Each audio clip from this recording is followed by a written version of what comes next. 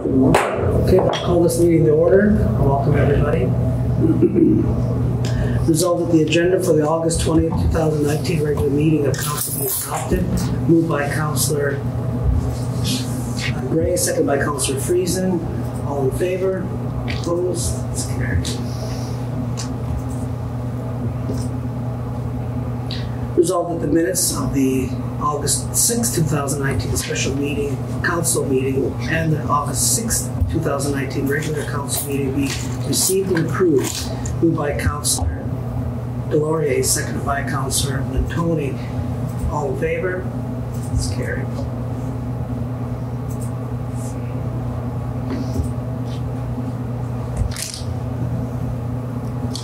Resolved that the minutes of the August 13, 2019 Committee of a Whole meeting be received and approved. Moved by Councilor, oh, this is, uh, We did the regular meeting, yeah, there was an issue with that, but we'll finish uh, Councilor Friesen and Councilor Whyte. All in favor? It's carried. In the original minutes, we, we, uh, I thought we referred to the committee of the whole, the two procurement policies for discussion, but we haven't actually discussed them in committee of the whole. Uh, The last committee where we did. You missed that one last week. Okay. It was discussed because I didn't see it in the minutes of committee of the whole, but maybe I'm missing. it.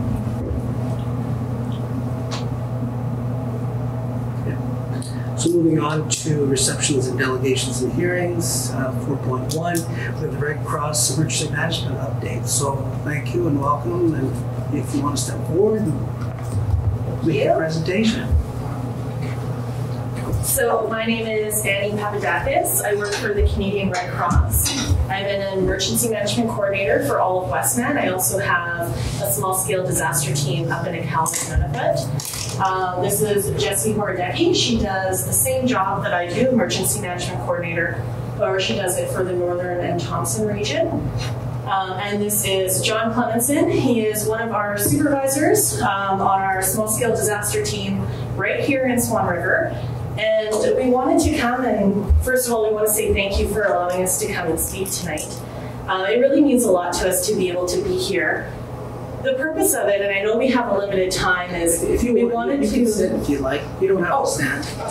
Thank you. You're comfortable. Uh, the purpose of this coming was we wanted to let you know that we have a small scale disaster assistance team right here in Swan River, and we cover Swan River and the surrounding area. So, what does that team do? I have some literature I'm just going to pass around. Um, the team basically, if there is a house fire and a family needs some assistance, emergency assistance, they can call the toll free number at the bottom of this literature that's being passed around. And they can get a hold of our local team. Our local team would then go and meet with the family and provide the first 72 hours of total assistance. So, what that means is getting them a hotel room, getting them lodging, clothing, food, personal services, stuff like deodorant or little things to kind of bring back people's dignity um, and to also take off some of the stress that people can feel after they've lost their house. So, what we're here to discuss and to ask is we need your help. we need your help to let people know that this service is available. And the toll free number at the bottom of the page is how they can reach us in order to access those services. But we also need your help to let people know that we are looking to grow our team. And there is a benefit for people to volunteer for the Red Cross and to volunteer in general. Um, the main benefit is by volunteering with the Red Cross, all of the training is totally 100% free. Um, if we have to send someone to another place to receive training, we pay mileage, we pay meals. Um, it's completely covered by the Red Cross. And what you're getting in the end by encouraging people to volunteer for the Red Cross, for the small scale disaster team, is you're enabling the people in your own community to gain skills, um, gain confidence to go and help people in the biggest time of need of their life after they've lost essentially everything.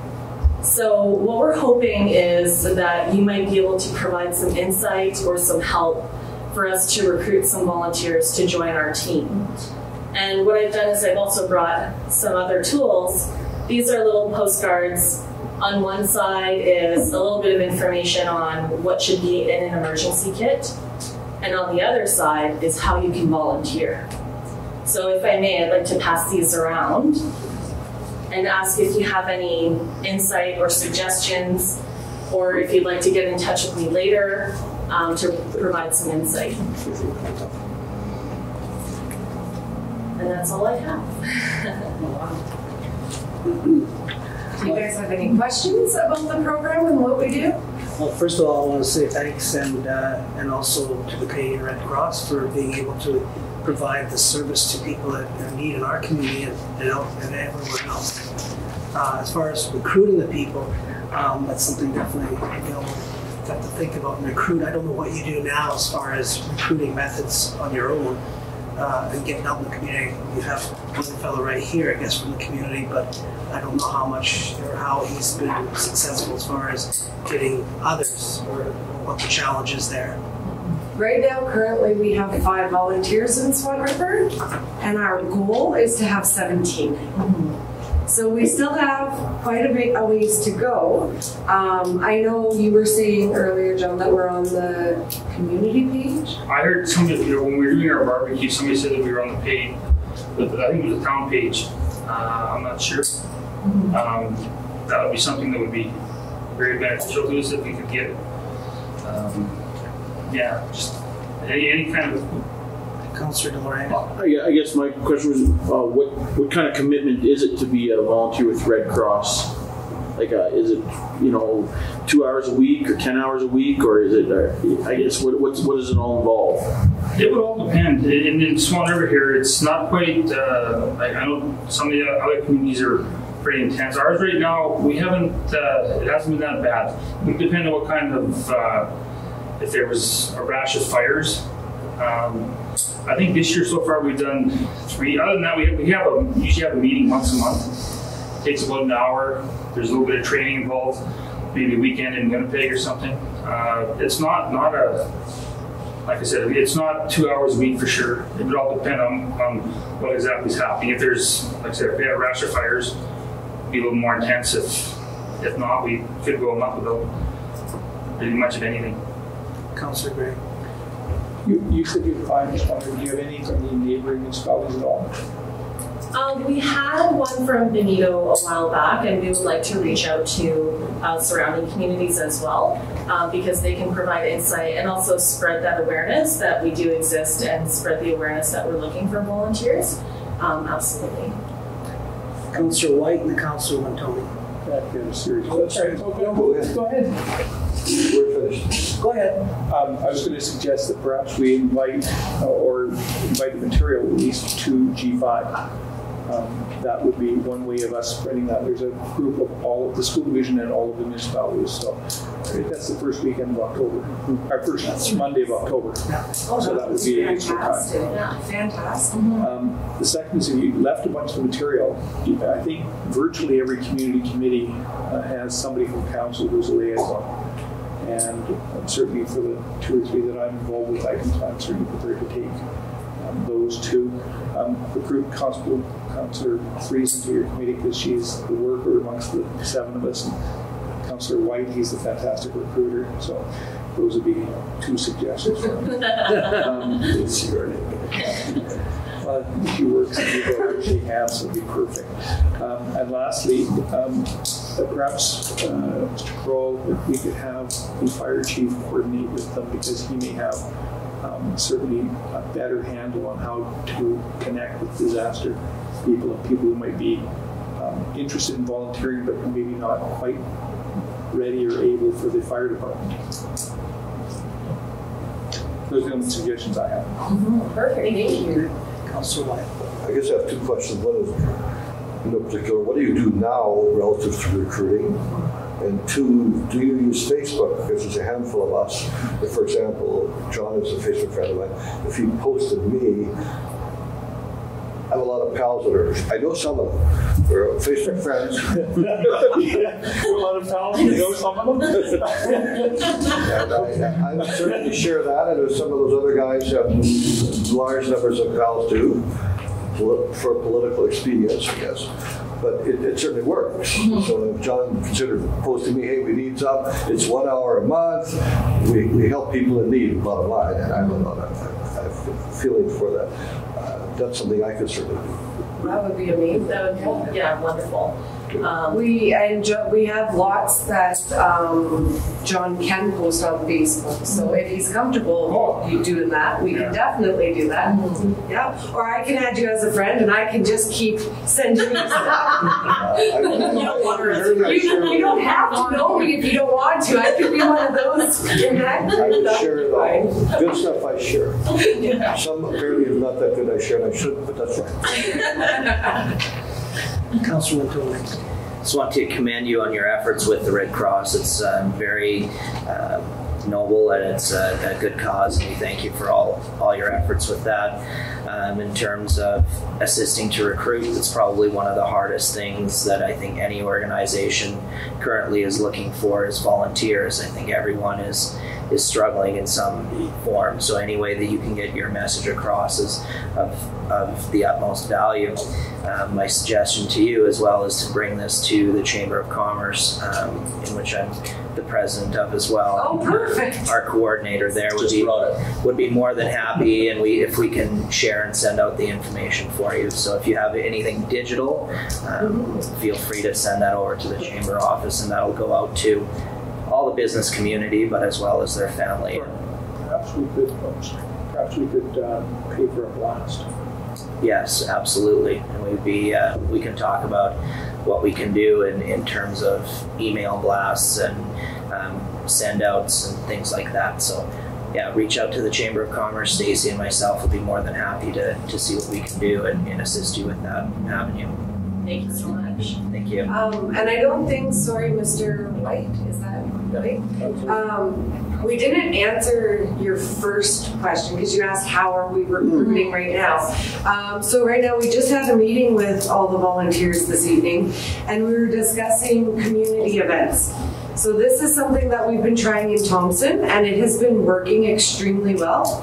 And so we're going to try it here as well in Swan River. And so what that means is your fall suppers, your I forget what all we said. There was a list of things. Sorry, but what what the plan is is to have our wonderful volunteers wearing the Red Cross vests, volunteering at these other events that happen locally throughout the year, just to get that exposure, so that, like you said, the more people know that we're here, the more they'll be willing to volunteer, right? So that's one of our big projects for the rest of this year is to do a lot of community events. That's a great idea.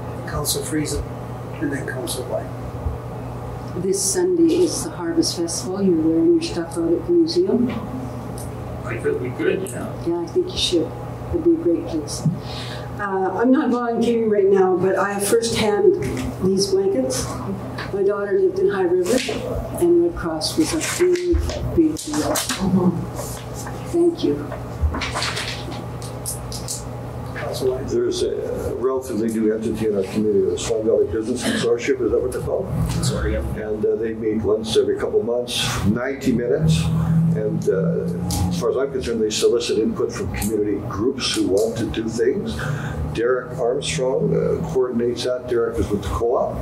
And say, hey, Derek, can we get five minutes? Uh, I see him as a very including person. They certainly talk things like Red Cross. So uh, give Derek a call to co-op and say, can we get on your agenda? And hypothetically, those are many of our leaders in the community at those meetings. What is that meeting called, sir? Swan Valley Business Consortium and Derek Armstrong, who works with the co-op. September 19th. Pardon? September 19th is our next one. Uh, I am gonna down, sorry. And they're 90 minutes. I think that's important. I like meetings, I know they're over 90 minutes. Councilman. And just to add with the business consortium, Stacy from the Chamber of, of Commerce as well is the secretary for that. So touch base with her, see her. She'll give you all the information you need. And in terms of community events, we have a massive community calendar that um, on our on the Chamber of Commerce that you can pick and choose events that might work for you. Perfect. So touch base with her, and she'll give you all the information you need. Okay, anybody else? So, okay, so uh, again, thank you very much, and I think that we had a good conversation here, and I think that the town page thing, we can, we should be able to make that work. And then, of course, the G5 and some of the other recommendations that were made here today, and some other people that you could make connection with. Uh, we can find some volunteers. Thank you. Thank you. Thank you for you, letting guys. us. So we'll leave these, um, while we, you'll have them. Yes, just leave them with uh, Mr. Croll there. So, Thank you. thank you. Thank you. We do business right in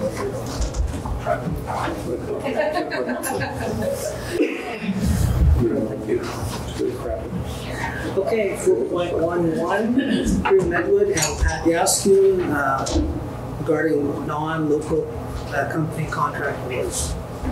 Come forward, welcome. Hello. I'm back Good evening, it's always good to see you. Hi, ladies.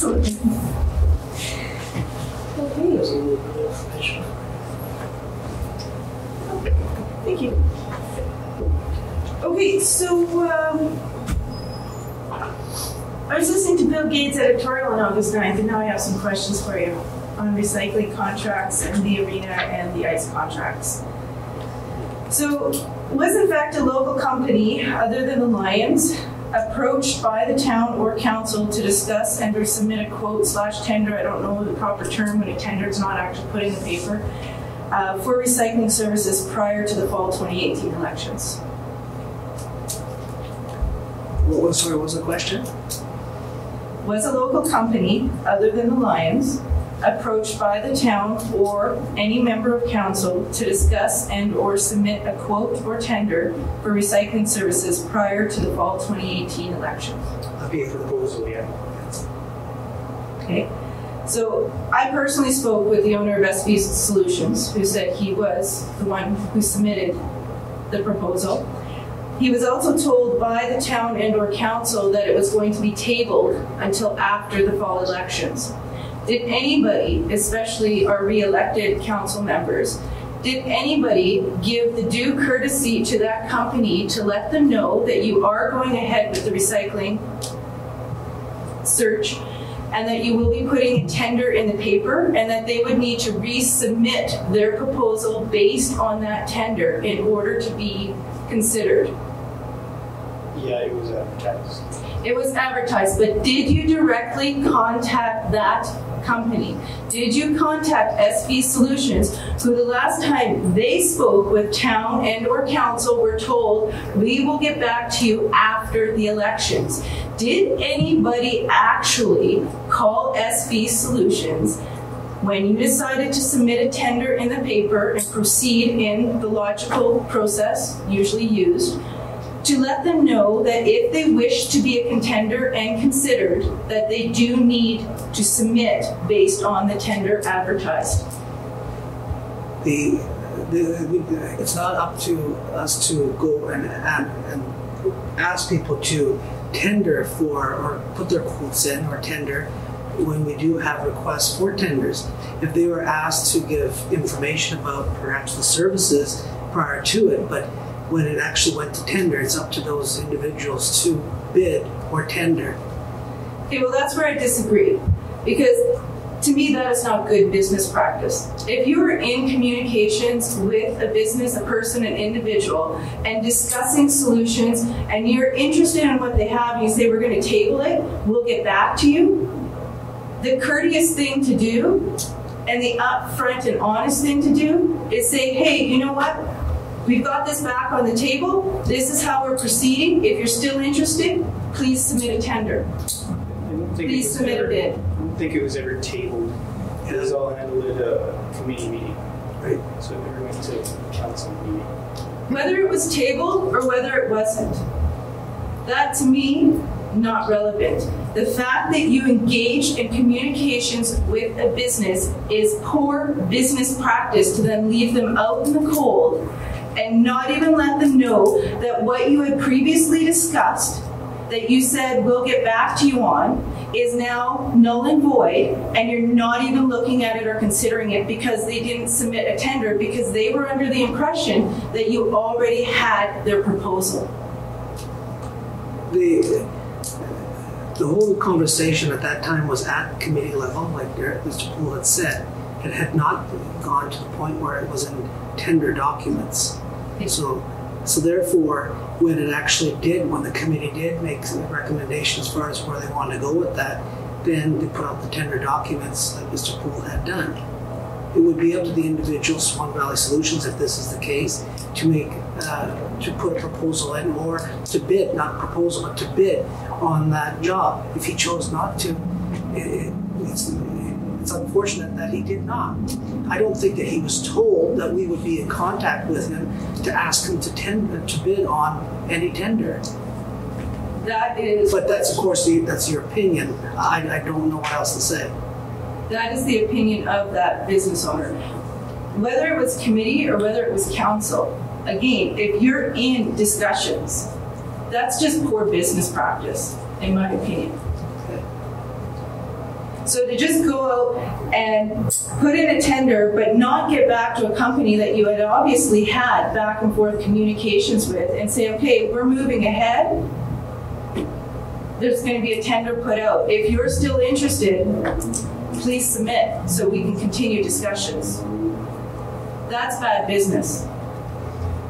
I had, I've had several conversations between the proposal that was uh, given to the town and, and in between we tendered, right in the front lobby, explaining that we were at committee level, undecided, and and yeah, obviously we were undecided. We didn't know which way to go, and we would likely be putting out a tender, and that's exactly what happened. Okay, so who was it that contacted OSS to let them know there was a tender in the paper?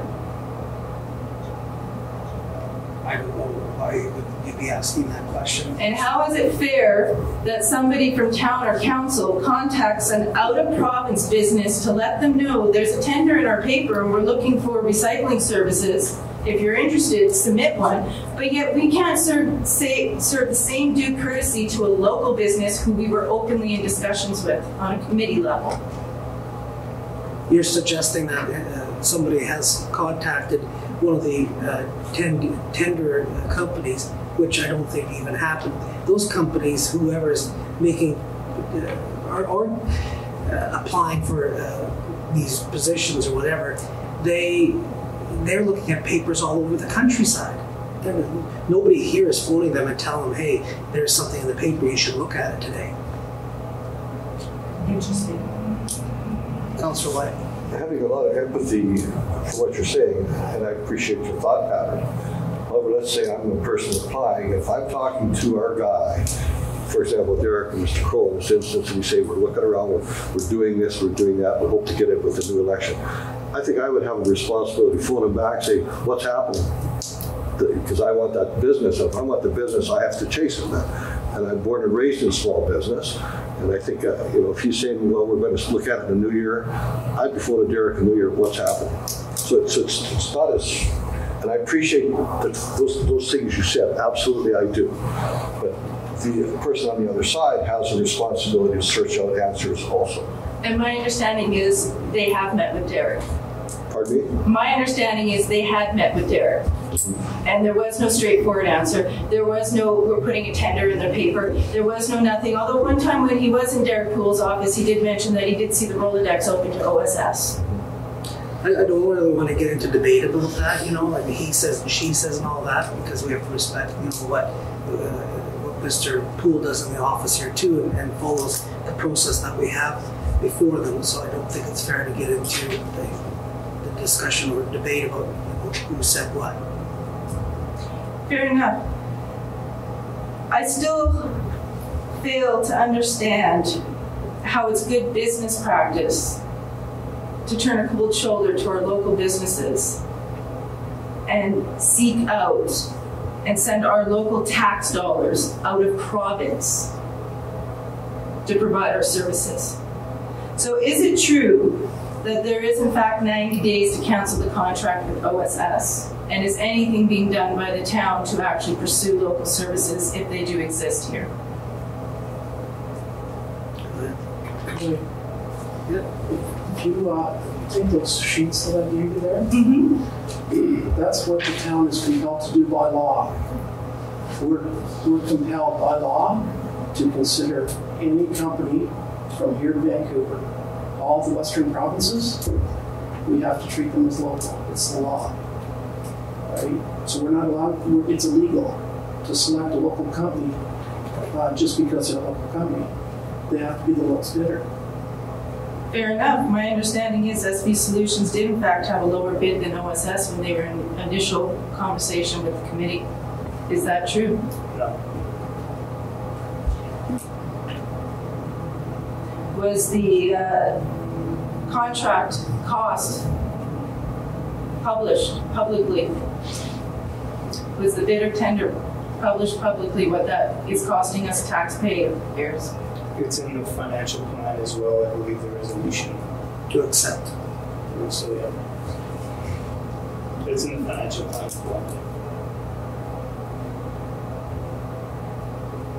I will have to uh, go back to SV Solutions and double check what their proposal was, but it's my understanding that they did have the lower bid. They didn't, they, they did not tender. Granted, they did not submit tender, but that's where we're nitpicking on good and bad business practices. First proposal that we submitted on was not based on the same scope of work of what was accepted in the new year. Yeah, originally a proposal was submitted for waste collection as well as recycling services and managing the recycling depot at the landfill site. The tender was, I don't recall specifically, but through the committee, I watched the meeting. It was decided that you guys were gonna isolate to just recycling and deal with garbage collection at another time.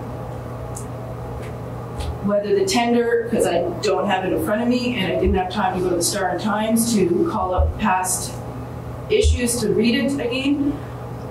But whether it was tendered for all of those and you chose to selectively look at just recycling, again, to me, that's bad business.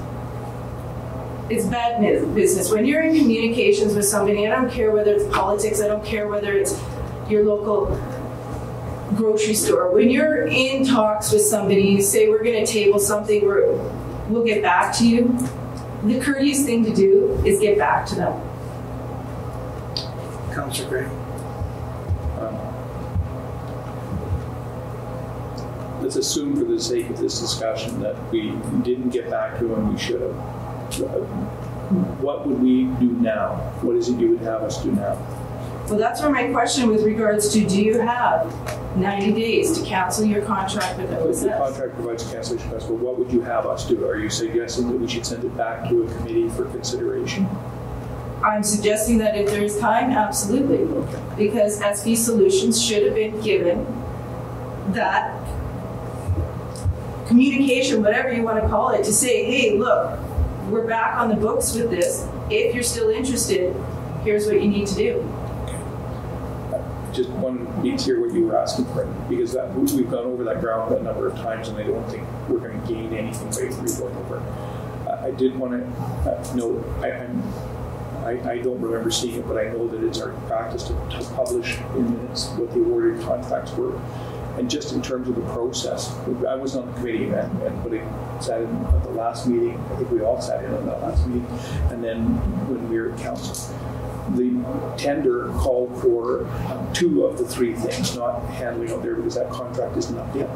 But uh, it was both garbage collection and recycling. And the tender, as I recall, specifically said we would consider both or either, which included our own forces. And the analysis was actually fairly complex and complete in terms of going through own forces, which was and going through the Lions and the other tenderers, and, and the ones that were in front of council at that time, we developed the decisions based on that. Now, not everybody agreed with every part of, of all the decisions, but at the end of the day, the decisions were made based on the two lowest cost items at this time, which was own source for garbage collection and um, OSS was the lowest process for recycling. So uh, that's all I can tell you is that that, and I, I, you know, I don't even know prior communications. I don't know anybody here who communicated with OSS, and there was never a suggestion at any committee meeting that anybody had talked to OSS before. It, there was no. I, I, I mean, I'm not saying they didn't. I'm saying that nobody came forward and said, "Well, I've talked to OSS." Um, outside of the process, the process was followed pretty rigorously. Now, whether or not we looked at it in committee, um, you know, that would take, I think, the owner um, of. I don't think we're going to start the process now on the basis of, of somebody else. If, if he came forward and said, "Look, I've got a better proposal for you," I don't suppose we're ever going to shut things down. On the other hand, candidly, I'm not sure it's great business to enter into a three-year contract and cancel it if you have a 90-day clause, just because you have a shorter, immediately closed bidder. We have it. We're actually tonight going through a procurement process. I have a couple of comments on it, but we, are going through a procurement process um, to exactly go through that piece. And the process involves going through an assessment of the bid and whether it meets our needs and criterion, and then an assessment of the price. So there's a balancing of those two interests, unlike um, just taking the lowest bidder, or unlike um, we had some very public situations where we took a, a local bidder ill considered in my view, and contrary as Mr. Croll said to the law. But we, but we have a process now that is very different. So if he wants to make that pitch, I guess we can consider it. I don't know. I, am not going to speak for any of the others. I, am certainly not close to the idea, but I can tell you that it would take an overwhelming reason to cancel a contract we've entered into.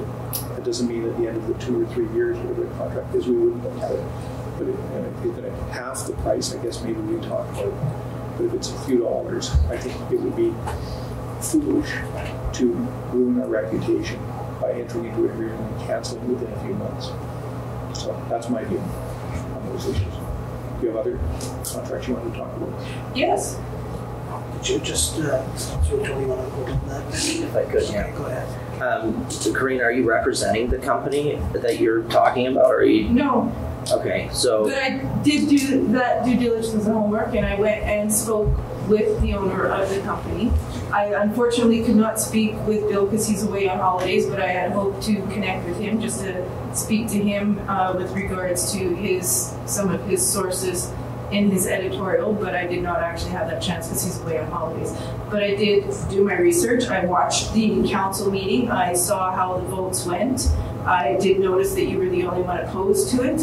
Um, I did not actually clearly uh, make out what David Gray's uh, vote was or whether he abstained, and Lance, you were absent.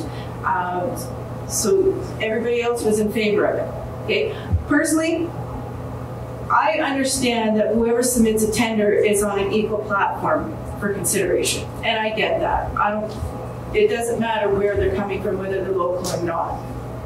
I do tend to agree that if we're talking a 5 or 10% difference to keep our economy going, then even if a local company is 5% higher, we need to have some very strong reasons other than just a 5% lower price to go with another company.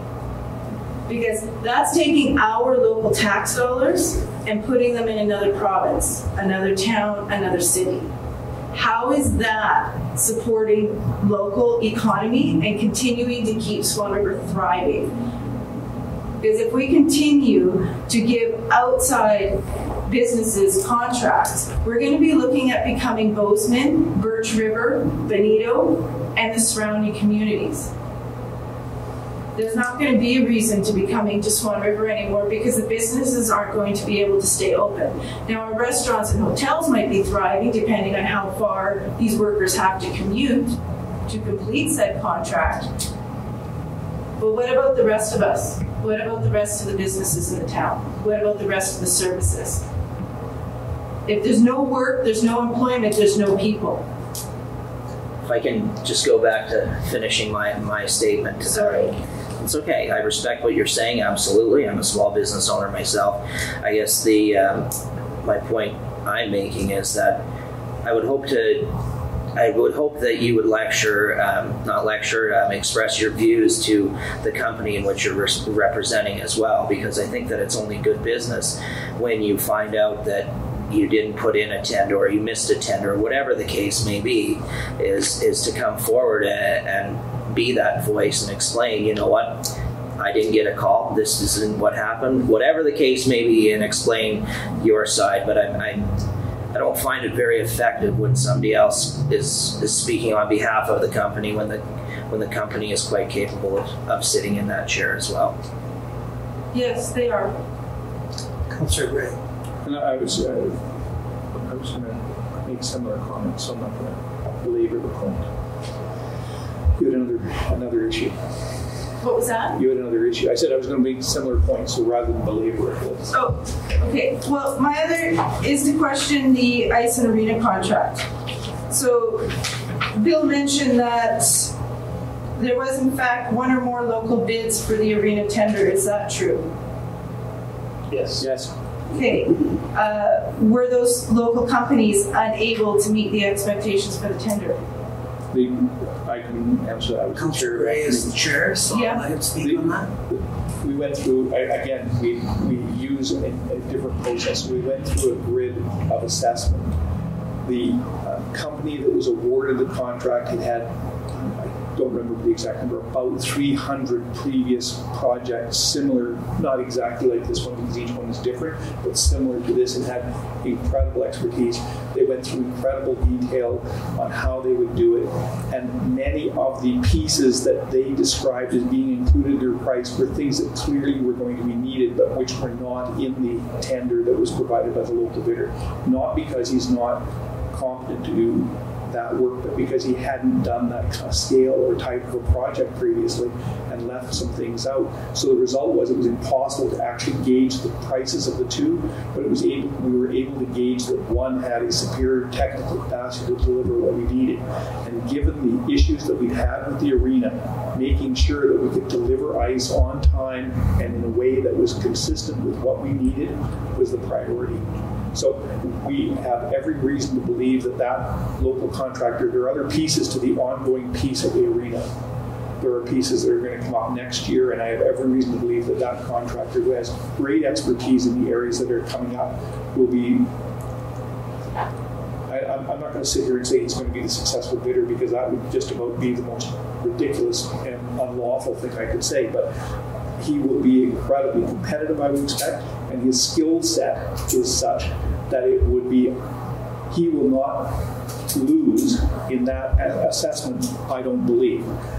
Local bidders have a local advantage, three local advantages in the bidding process we have. One is that one of the things that we are supposed to test is whether or not they'll have the ability to service the product as they deliver it. Local people inherently have that capacity. It's much harder for people from distance to say that. The second that they second thing that they have going for them locally is that they will have some history or reputation within the community, and particularly with the town. And that gives, history or reputation gives them a plus or a minus. Presuming that they've been good contractors, that will give them a plus over most external bidders. And lastly, they should have an inherent advantage in the sense that the cost for them to be here is less. So in all of those ways, we give a local preference, just as any as there is a local preference, but we are unable to simply say because you are local, we're going to, and I'm going to come back to a comment you before, that if it's only five or ten percent above, that we should go with that. Well, in point of fact, one of the reasons I ran was because of a vote that um, took place, and we, and Councilor Tony and I insisted on a reconsideration of the vote. We, we all voted the same way because the consequences would have been too great to cancel that contract. But there was exactly that process, and it is wrong both in law and in logic. And the responsibility of the Council of the Town of Swan River is to get the best value for the citizens of the Town of Swan River. We do appreciate that we need to encourage local business, and we do lots of other things to do that. And we, in fact, provide lots of small contract local procurements that are done without bid to local people or without tender. But we, to do major projects that way is illegal and irresponsible. I hear what you're saying, and I do get that you need the right people to do the job, and you need the right qualifications and skill set to do it. In your process for the tendering, you mentioned that the local company didn't have the detail that. The tender didn't have the detail. They didn't have a number of connectors. Okay, They didn't so- have the sand. It wasn't, that- it wasn't actually even a tender, it was a request for proposal. We wanted proposals, we wanted companies to submit proposals to us on what you, how do, how do you propose to fix this? So it wasn't a tender in the fact that companies were bidding on a, on a set uh, We set, we didn't set process. We didn't set what they had to do. You tell us what you're going to do. Right. Okay, so my question still is basically the same. Does the council and or the committees do anything to work with the companies either during or after the tender or proposal process to actually say, okay, like you were just talking about, youth, because the detail wasn't there, okay, I get it, fair enough, you had some boxes you can check off, I get that, that makes sense. But do you then kind of build relations and kind of say like, hey, you know what? We kind of feel like you might be able to get this job done, but here's where your proposal or tender is kind of lacking. This is kind of the information that we kind of needed, that we supported, you know, so that they can grow and develop as a business themselves within the economy so that in future times of proposal or tenders, then they might actually be able to grow and develop as a local business to be able to meet those I don't want to say terms or criteria because it's always going to change, but have a maybe a better understanding of the process of what detail kind of needs to be able to be put into that. Because there's a lot of good business people out there, but they can't write a proposal worth beans. So is it just that? Do they have the skill set, but we're lacking that communication piece of getting it through? And it's not saying you guys have to teach them or coach them or do it for them, but to say, hey, you know what? If if you can develop this area or in this range, we could probably, you know, it might benefit you and or others if this is the type of business you're trying to obtain. Just before Councillor Gray responds to that, I'll just say that no member of council or the, who, who are the committee members as well, deal with any contractors directly. That's management's responsibility. And so I just want to make sure that's clear that management deals with any of the people that we have hired within the organization. Go ahead, Councillor Gray. Yes. Um, You should stay for the rest of the meeting. The the sole bylaw that's being considered uh, tonight is the uh, procurement bylaw, which has in fact in it a process which is um, for review with any unsuccessful bidders if they chose to avail themselves of that. That's always been sort of available um, nominally, but no, to my knowledge, very few contractors do that. They just move on. But that process is in fact enshrined into the new bylaw. Um, and so you should, I mean, you, if you watch it or whatever, the bylaw, the new, the new bylaw, the new process has that built into it. Um, the second is that um, I want to echo what um, His Worship just said my experience, and limited though it's been in terms of being on council with management, is that if, if bidders want to talk to management about what the bidding process is or what they require or what the criteria will be for selection, has been that they've been incredibly open. Now, we haven't always necessarily agreed, and, and, and we're in the baby steps of learning how to do the new procurement process, and so there have been some um, glitches, not in that particular one, but in some others where, where not everything that might have been assessed was assessed. But but we're we're going through a process of getting value for dollars. But management have been incredibly open, and so any bidder who wants to do that, I don't care whether they're from Swan River or from Benito or from Vancouver, if they want to talk to our management about how the bidding process goes, what the criterion are, and what the selection process will be, I have every reason to believe that they will be honored um, in that regard, and that if they aren't, I think council would take that incredibly badly. It would be an unbelievable mistake for council to involve themselves in that process. It, it could not work out well at all. There is nothing good could come from that because ultimately we're responsible for reviewing and improving the decisions. And if we've already committed ourselves to explaining something to somebody, that becomes an incredibly difficult process. Just as it, in some of the procurement processes, the CAO was responsible for that, for him to, to say, well, if you do this, that would make me really happy. I think um, I don't know, but I'm almost guaranteed that if somebody came to me and said, the other guy went to the CAO and he was promised a job because he said, if you do this, you, you know, you're going to improve your chances. I'm thinking that we're going to immediately file for the arbitration process and be successful.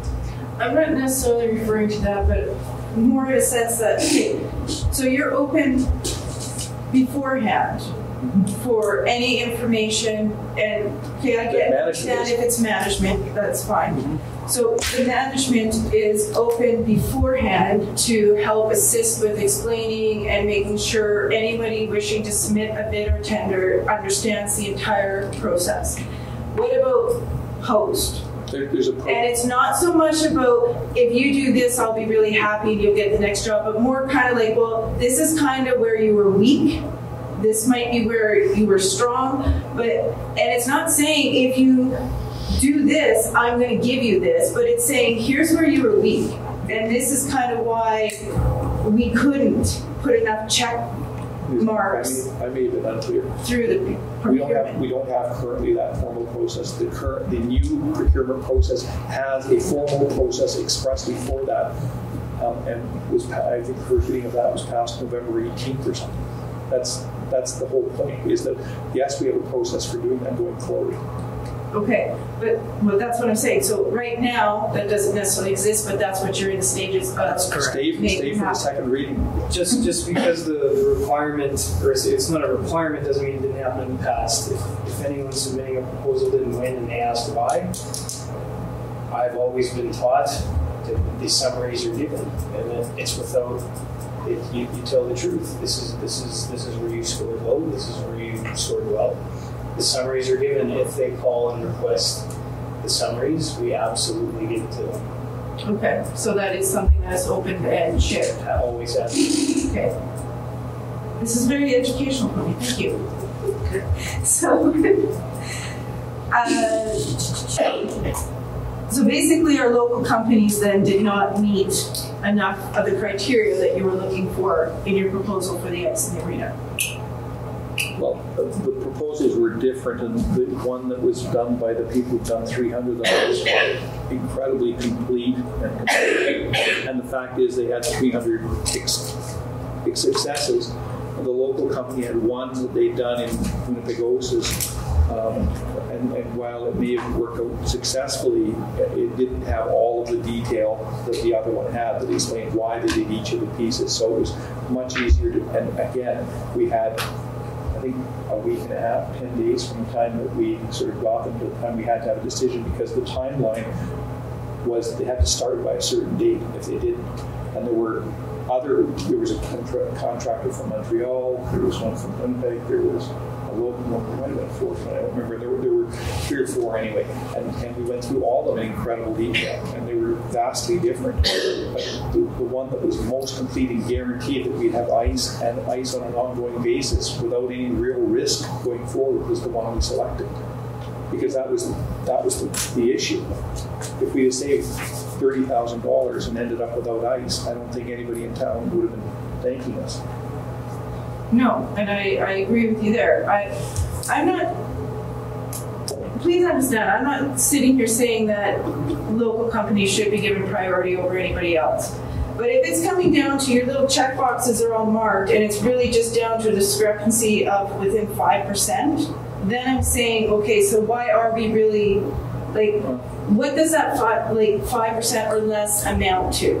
And not just looking at that particular bid or tender, but looking at also the impact. So if we're talking a service like recycling, for example, which is something that is ongoing, so they cost maybe 5% more upfront, but what is that going to do for the economy in the long run when we're looking at creating jobs locally, maybe possibly even replacing the eight that got lost with the Lions having to fold, give up, whatever it was, but also keeping that local tax dollars, local eight, possibly more or less people doing the job and getting the job done.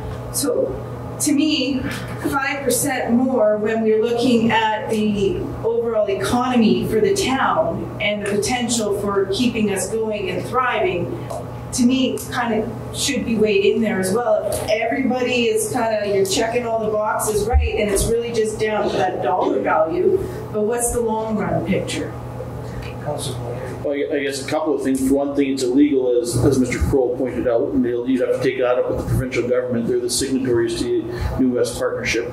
Um, but secondly, as Councillor Gray pointed out earlier, local businesses do have a, a, an edge when it comes to pricing and the fact that they don't have the overhead of coming in here that some other companies do. So if they are 5% high, well, they have some explaining to do in the fact that their costs are, how can some, how can someone come in here and beat you when they have additional costs that you're not going to have? Why are, why are you 5% high? You should be 5% low. For, you, you don't have hotels, you don't have meals, you, you're located here. So right, right off the hop, they have the advantage of being local. Their, their price should be better. Fair enough. I, I honestly can't answer that question for you just because I'm not in that type of business. So I don't know why a local company, other than maybe that they have to source their product from out of town, like we're talking making a building structure, they're obviously not necessarily getting their materials right here locally. So maybe it's their provider that's providing for them that brings that cost difference. So I don't know. I can't honestly answer that for you. But so what you're telling me now then is basically if all the boxes are checked and they're all equal, it is basically looking at the dollar value, it's illegal to choose the person with the higher bid. Yeah, that's So what uh, it's illegal to- New West Partnership, uh, because all the western provinces are in, um, bid for bids local preference. So uh, it's for seventy-five thousand dollars and more for services. So, so for instance, picking up the recycling, and for construction, it's two hundred thousand dollars. So if you're given local preference without considering, the, you know, the local preference was the lowest bidder, then that's all good and fine. But if they're the higher bidder and you select them just because they're the local people, there's up to five million dollars in fines for, for Okay, and that. there's a set limit on that though? Like- Yeah, it's all in there. I've highlighted it in yellow for you. Thank you. I appreciate that. So we're just gonna have to wrap up here pretty soon, but I'll let Councilor go. Um, I appreciate what you're saying. It's like the, the tendering, it, it's a it's a fine line, and we all would like to award contracts, especially like municipal contracts to local um, businesses. Unfortunately, we have to look beyond just the one singular contract. We have to look at other. If we get into a practice which Mr. Has um, alluded that it's illegal, you're gonna all of a sudden end up with just no competitiveness from other communities or other contractors bidding in to keep the competitive process going. But it also could turn around and backfire is that other communities which would go is that, well, they're from Swan River, we're gonna hire. So we have a lot of businesses within the valley that do a lot of their business outside the valley or outside of Thomas Swan River. So it's like if we shut the door on them, the other communities can shut the door on our our own contractors and there's not enough work within the valley for certain contractors if there's a number of them. So it, it's it's a balancing act and we have to follow the legislations and the, the acts that are out there. So um, would we love like personally i would love to hire local contractors but we have to follow the rules and regulations that are there and it has to be the competitive bid because it is tax dollars and when you start dealing with half a million to a million dollars, five percent is a big number. And we all know this year what our taxes went up just to maintain the core services. So when you on a million dollars on five percent, that's a long ways. Or even nine hundred fifty thousand. Exactly. So, yes, we would like to have a local guy do the million dollar bid, but once a year we have to, uh, throughout the whole year through the tax process, we have to explain that to the, the individuals that, that are paying for it, the, the local taxpayers. And five percent on a million dollars is a, is a big chunk of money, which this year people are not happy about. No, I So- hear a lot of that too. Exactly. We So, like, on, so, so on the uh, recycling contract, which the discussion is, it's close to it's it's a six digit. It's a significant number. So five percent on that is still it's not as big as the million dollar one, but it would still add a significant chunk to the taxes to afford that. So it's like I'm very sympathetic to the local people, but they need to be competitive and they need to follow the same rules as everybody else. Like we have legislation and like we assist them where we can, but we can't give them for say preferential treatment that will get us in trouble with the legislation where we could get fined and stuff like that. So what Fair enough. I do appreciate all the answers and you guys actually providing the answers. It was very educational for me.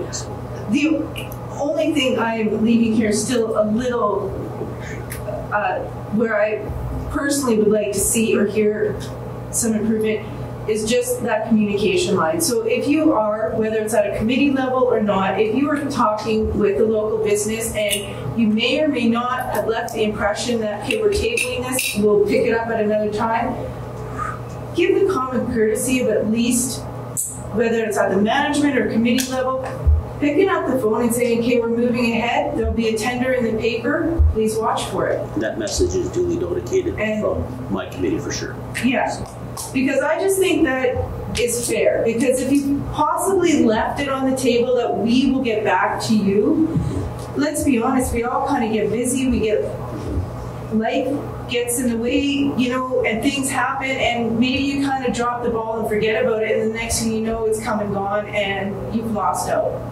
So, giving the benefit of the doubt, maybe as a town, as a council, we can kind of do our due diligence in on a communication level. I agree that yes, whether you're local, out of town, everybody needs to follow the same rules. We need to follow, and there shouldn't be preferential treatment either way.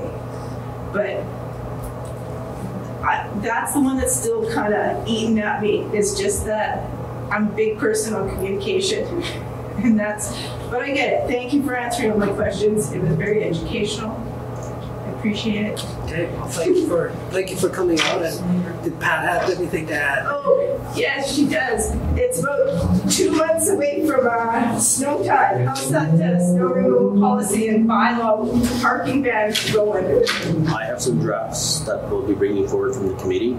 Oh, really? Bringing it forth, so um, it's being reviewed.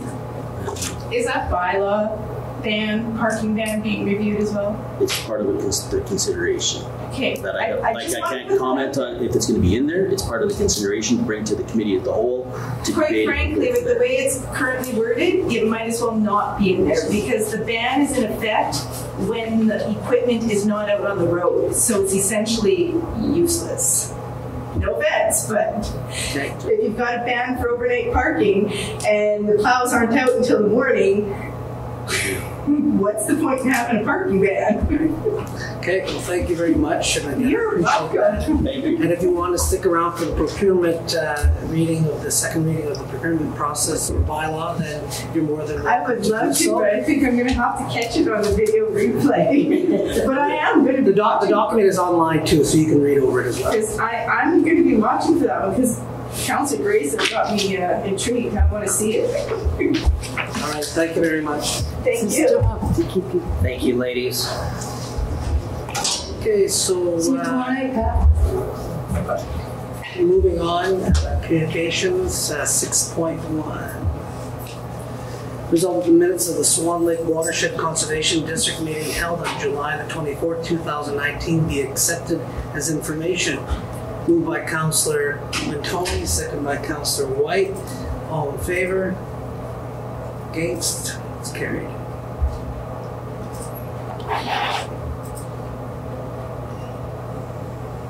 Okay. Resolved that the town of Swan River provide funding to the Swan Lake Watershed Conservation District for the fiscal year ending March 31st, 2020, the amount of $13,441.82. Moved by Counselor Moriaux, second by Counselor Delaurier. Discussion? Counselor Delaurier? I guess, as we talked about in our uh, committee meeting last week, it- in the nicest way possible, the minister basically told us to go take a hike. He wasn't entertaining any of our uh, our arguments. Um, I, I don't want to have to do this, but we have, you know, between three hundred thousand and four hundred thousand dollars of shared service agreements to be negotiated. I would hate to, as an act of good faith, we could vote for this to go in for, for a year, negotiate those agreements. If we can at least maintain the status quo on them or improve our lot, it'd be a success in my mind. But I, I would hate for not for having thumbed our nose at them for, with this to have, not, have end up with nothing. Councilor, Counselor Moriaux, did you raise your hand? Okay, Counselor Mantoni. Um, I guess I I understand what Councillor Delaurier is saying for sure, but I guess is that the is that the way that the, the council wants to go? Because the same question is going to come up for the airport commission as well, too, in terms of in terms of how, how the levy was what came came to be. So I just want that to be a question or an answer in everybody's mind on which way we're going to be voting for this. And if that does come up, we will most likely approve that that way for the year for it to be renegotiated. so I just wanted that to bring that to attention. Counselor Moriaux. Um, I understand and read the letter from the minister. Um, I personally disagree with it. Um, but as previously discussed last week at the committee of the whole, and right now, um, for the amount of dollar value that we're disagreeing with, and we're going to, as a, about to enter into negotiations with municipalities, um, to put those onto a sour note right off the hop, before um, they even get started, um, as an act of good faith, I'm willing to move this forward. Um, but also, as what Con- uh, Councilor Tony just mentioned about the airport commission, um, the airport commission is not based on the dollar amount. The concern was it was based on the ability or the ability of the commission itself to set the rates that are outside the contract that was agreed to by the councils. So um, that's similar, but it's a different type of argument than this was being. Because, so, so this. Further discussion, Councillor Gray. I acknowledge the wisdom of the comments of my colleagues, Councilor Delaurier and Moore. Having said that, um, my question is this, how much more sour a note can we be on? Um, both Minitonas, Bowsman and Swan Valley West have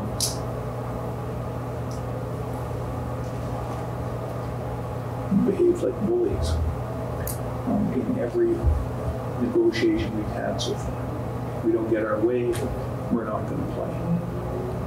Um, not with argument or reason, not with this is the basis upon which we're going to assert this, not with um, with even a trade-off, not even with a principle that says you guys should concede this because it's small dollars and we have other dollars that we're going to contribute. And we agree with you philosophically that we have to work together. That has not been their position. Their position is we can out sand. So, um, I, I, my personality is not one that takes well to being pushed. I, uh, my reaction is to push back. Um, and um, I find it difficult to I do lots of negotiations where we where we concede small points because what's the point? Like, is it worth spending three days in court over a ten thousand dollar dispute in a family matter? Of course, it's not. And so, I'm, I'm, I I have some affinity for the view that this is not a big deal. On the other hand, candidly, if, if you expect to have fights about all of the big things, then why would you concede the small things? So, um, I'm, I'm probably going to abstain. I, I'm going to think that we should defer until we see whether or not there's good faith on the other pieces before we agree. Um, but uh, I know there's some urgency, and so I, I firstly, I don't think the minister's following the rules. I don't think he's passed an order in council. Um, he may be intending to do it, uh, but he uh, that presumes he's going to be elected. He's going to be appointed the minister uh, again. Um, but they have not passed an order in council changing the, the presumptive level. The fact that he has responded without considering that is um, astounding to me. Like, at least I'm not aware of an order in council. Mr. Croll, maybe you can uh, help me, but I, checked and I don't recall seeing an order in council. And the requirement of the act is that if he's going to set rates other than the presumptive rates, that there will be an order in council. So um, I appreciate he wanted to have um, unanimity, and I appreciated that he wants to have um, he doesn't want to risk losing Swan Valley West. On the other hand, it would seem to me absurd that Swan Valley West, who has is by far the largest winner in all of the work, we got back what we put in. They got back the three the, the three times amount that the province put in. They in Minitonas shared that money. We didn't get that money. So they're they're they're not pulling out when they're getting more than three times what they put in. And they can bluff all they want. And a lot of poker and nobody nobody nobody pulls out when they're gonna lose three and a half times what they're putting in. Like I said, I, I, I, don't like the approach that was taken by within these bodies. I, I think we raised good points. I raised some, other councillors raised some in the Snow Valley Watershed meeting where we went over our reasons for saying it. We didn't have even an argument response. It was just, well, we decided this. I mean,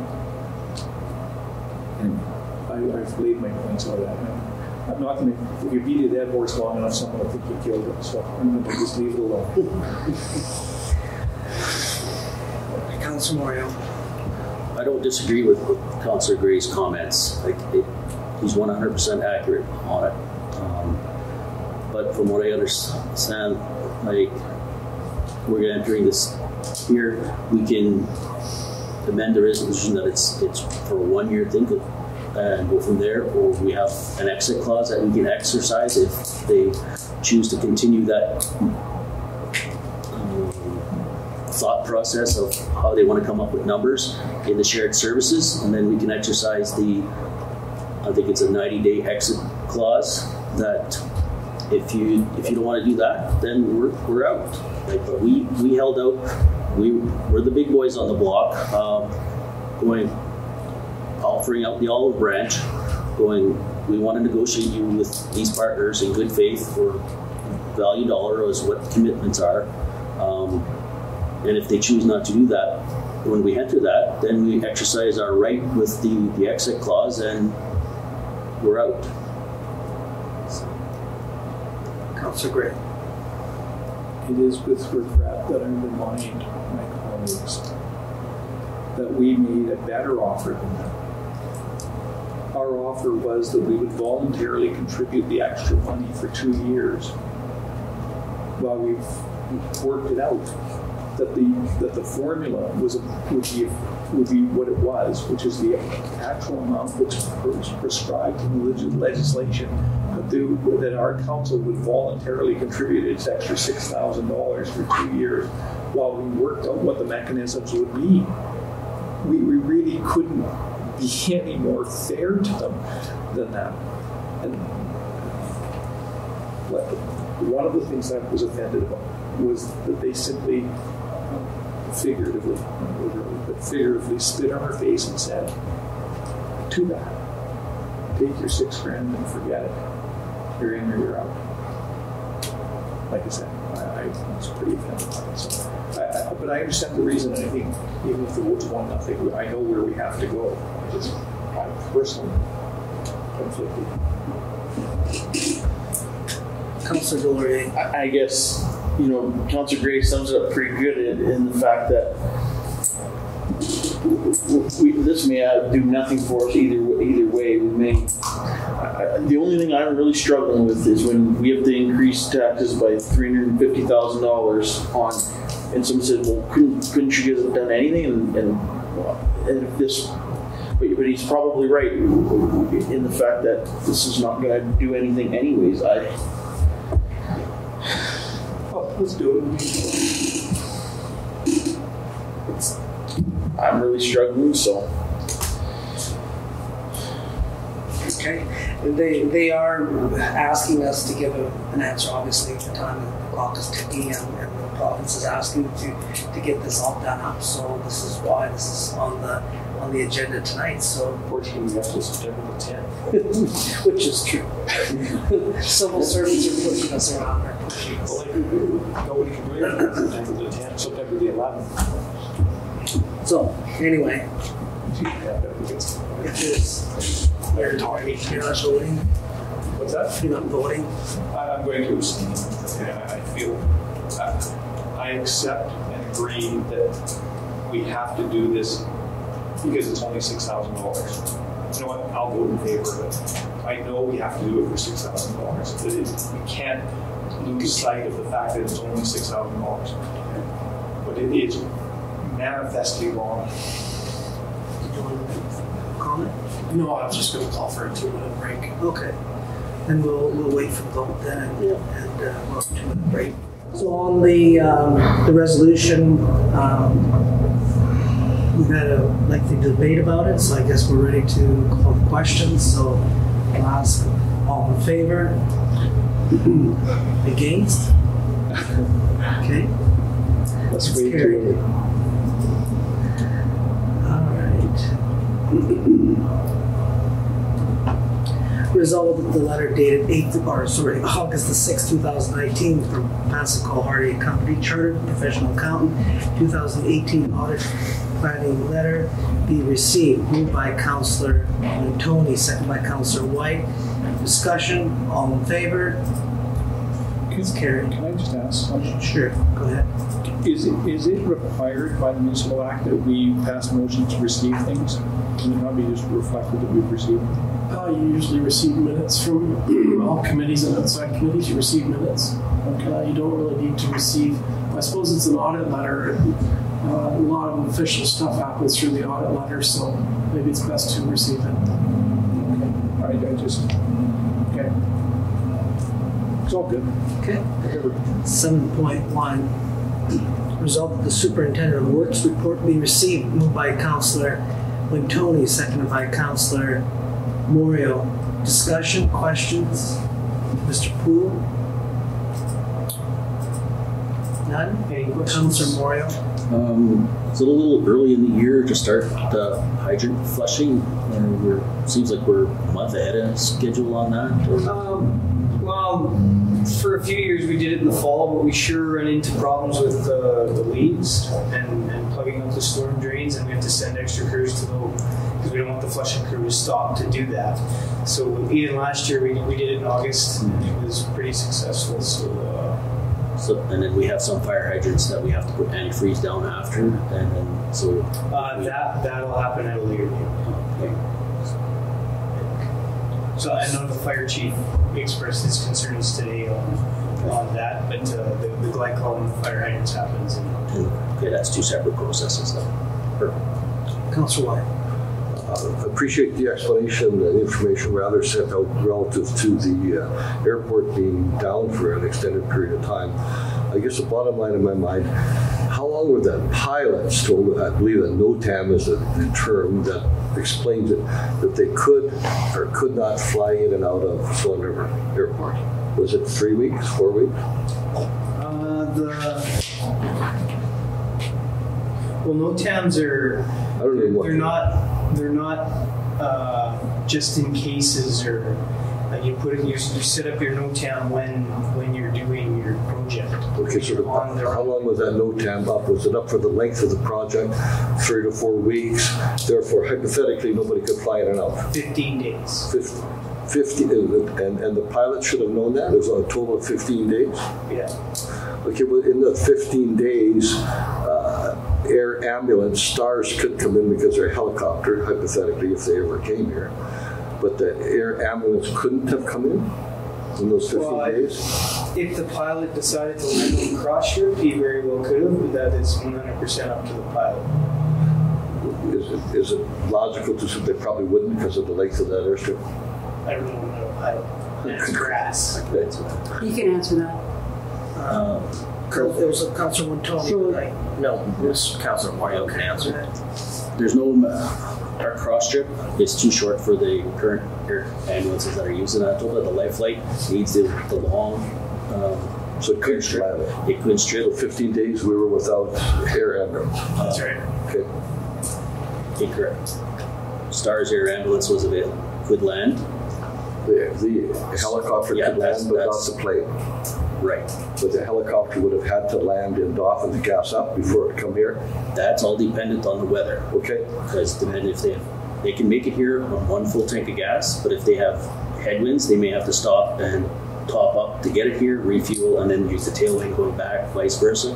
Because we're Swan River is right on the fringe of their range. So, but there's also in EMS and PMH, there's backup plans for when the runway, just like in the winter when it's iced over or whatever, that there's contingency plans for backup airstrips to be utilized, which were all reviewed and ready to be put in the as knows. So, the, so what I've heard is the plane couldn't land, but there's backup for the helicopter. The planes that are currently in use could not land. That's the ones that were used. I guess as, as uh, Mr. Poole understands more than I, I just find that was planned as a five-day thing turned out to be 15 days. And for the case of the air ambulance, with the planes we presently use, which is the ones we should talk about, uh, hopefully in the future there'll be planes that can land on the. But uh, that concerns me a lot, and, and it's nothing to do uh, Mr. Poole. I understand that, but well, I, I hope that doesn't happen again. But maybe we have no control over it. No, the work has like it's not the work has to be done, right? So know, when we, we use the contractors, if we didn't have, you know, if we didn't end at the right time, we lost those three days right at the end for the sweeping. The, the contractor is actually finished, so that takes it down to 12 days. Then he lost three and a half days to rain, so you're already at eight and a half days that, they worked. And then he had two paver breakdowns, so really he only worked Could I ask you to forward that information that you shared with council to the pilot who's on our airport commission? I I don't want to forward the stuff from, from our council, our exchanges. And uh, it, it, that would perhaps uh, help him understand it more because he'll explain it better than I would if he wants to phone you. Yeah, I'm, I'm okay with that. That should be public information why we didn't work, yes. Well, after tonight, I would believe it's a public document that can be shared with, that whole document can be shared with the entire commission. I don't think it's a public document, but I'm sorry. Your worship, I. Councillor Tony. Mine are, are not to do it. Can we get that one answered first, though, please? Okay, Can that stuff be forwarded Yes, to the it's public? all- Anything in a public meeting is public knowledge. all the documents that are handed in are public knowledge. So that, that could be forwarded. Would you do that? Thank you very much. I can get his contact through me. Pardon? I can get his contact through you. You can send it to me as a single document, I can forward it. Mr. Poole, you can send it to myself, the chair of the airport commission. I'll be more than happy to send it out to that pilot. It's probably a better idea. Okay. CC. Yep, thank you. Your turn. Am I? I'm good to go. You're good to go. Um, two things that I see so far complaints you have here, Mr. Poole, on dust control and trees. Can you just share what what you're talking about there? Where, which dust in which areas, and Uh, trees? If there's something that we should be concerned about. Yeah, the dust control issues on, on Willow Drive. Uh, yeah, we, we admit that was missed on the magnesium chloride application, so we were using granular uh, calcium and water to get that going. There's still some showing from last year, but we're going to calcium it anyways. So that owner is happy as soon as that's done, which should be this week. And then the trees, uh, there was a complaint on 8th Avenue North 100 block regarding uh, very large, I don't know what kind they are, but they're our trees, they're in the boulevard, and they're rotting and dying, and we have plans to remove them. And that's just age of trees. There's nothing, no issues with pesticides, anything like that that we're aware of. Just age of trees and public safety. Um, the other question I have is the survey quotes for Valley View Drive or Valley View Road. Sorry, um, how is that moving along? Can you share any information there? Uh, nothing that I've received back, but Vulcan, Kilchickie, Pollock and Wright, Atlas surveys and Richmond surveys have been contacted. And we're just waiting to hear back from you know what they can do for us, presumably and hopefully this year, so that builder can get underway if they choose to do so. Okay. Um, I think that's all I had. Thank you. Mr. Gray, did you have anything? Yeah, but, um, uh, when's the last time we paved the airport? Tuesday. Oh, Councilor Whyte, you're out of order. 2004, I. Okay, so it's 15 years ago. Yeah. So it's a problem every 15 years. So the problem itself isn't a problem. I mean, it was, it's done. What, what are we going to do about it? Um, there are a couple of other things that, that I was concerned with, some process things. Uh, If you read the complaint, it's that he became aware that there was going to be repaving in early July and then there were delays when it was started. So he wasn't bringing complaining because it could be well trapped here um, in that period of time. I don't think your letter will respond to that. I, I think the whole point is that we have to think through how we do that communication so that it's clear what will happen. That's that's not something that we should decide today. I know not much, as most people here know, for simple ad hoc decisions, and we just fly off our handle and make a quick decision. But there is, we should talk about the process, not even for the next airport, because it won't matter to me. I will be well into my dotage by then, but I'll be as old as Councillor Whyte. But for just an ongoing process of when those things happen, how we notify people, um, we should consider that in terms of our communication plan. Um, the, the second that was a concern to me was the responsing. That is that, that he made requests and it, took a couple of days or a few days to get back to him. Um, that's um, not something. I, I think that's also part of our communication plan and how that occurs. Because even if you get back and say, "Look, we're considering we'll get back to you," it's really important on those kind of complaints because they get out of hand quite quickly. Um, and I mean, that particular individual is very calm and, and, and measured, and so that's not. But there are other people who are less so, and that kind of delay can cause significant problems. So that's the second piece we should talk about at some point. The last is in terms of the, the, the contractor, I'm just baffled by some of it because we were supposed to start on a certain date and it was delayed because he couldn't get here or something. Um, do we not have penalties or anything in our agreements? I mean, I, I don't know. I'm just asking. We might in the future. No, Sterling. Okay. Oh well, yeah. Of course they don't. They, they just won't come. We paid for that. In the next bidder was over two hundred thousand dollars. Okay. So it is what it is. Yes. Okay. Well, that answered. I'm in favor of saving 200 grand. Is that everything? It is. Okay, Councillor Moran. Um, the RFP for the pool that, uh, it says sending advertisements, is that, it hasn't been sent yet? No, it's currently on MERX and on our Okay. website. Um, did you, uh, as per last council meeting, did you have a conversation with, or put anything in there with regards to how we want the hot tub removed? Yes. Okay, so capture that, okay, that's all I need to know. So we, we've created a contracts um, section in the government slide out on our website, and the, the RFP is in that contracts section. That's circulated. Will do. Thank you. Okay, further discussion? All in favor? It's carried. Okay, moving on to seven point two, council reports. We'll start with Councillor Gray. I've got some, I don't remember what they were. So, Do you want me to come back to you? Sure. It doesn't make any difference. Whyte. remember.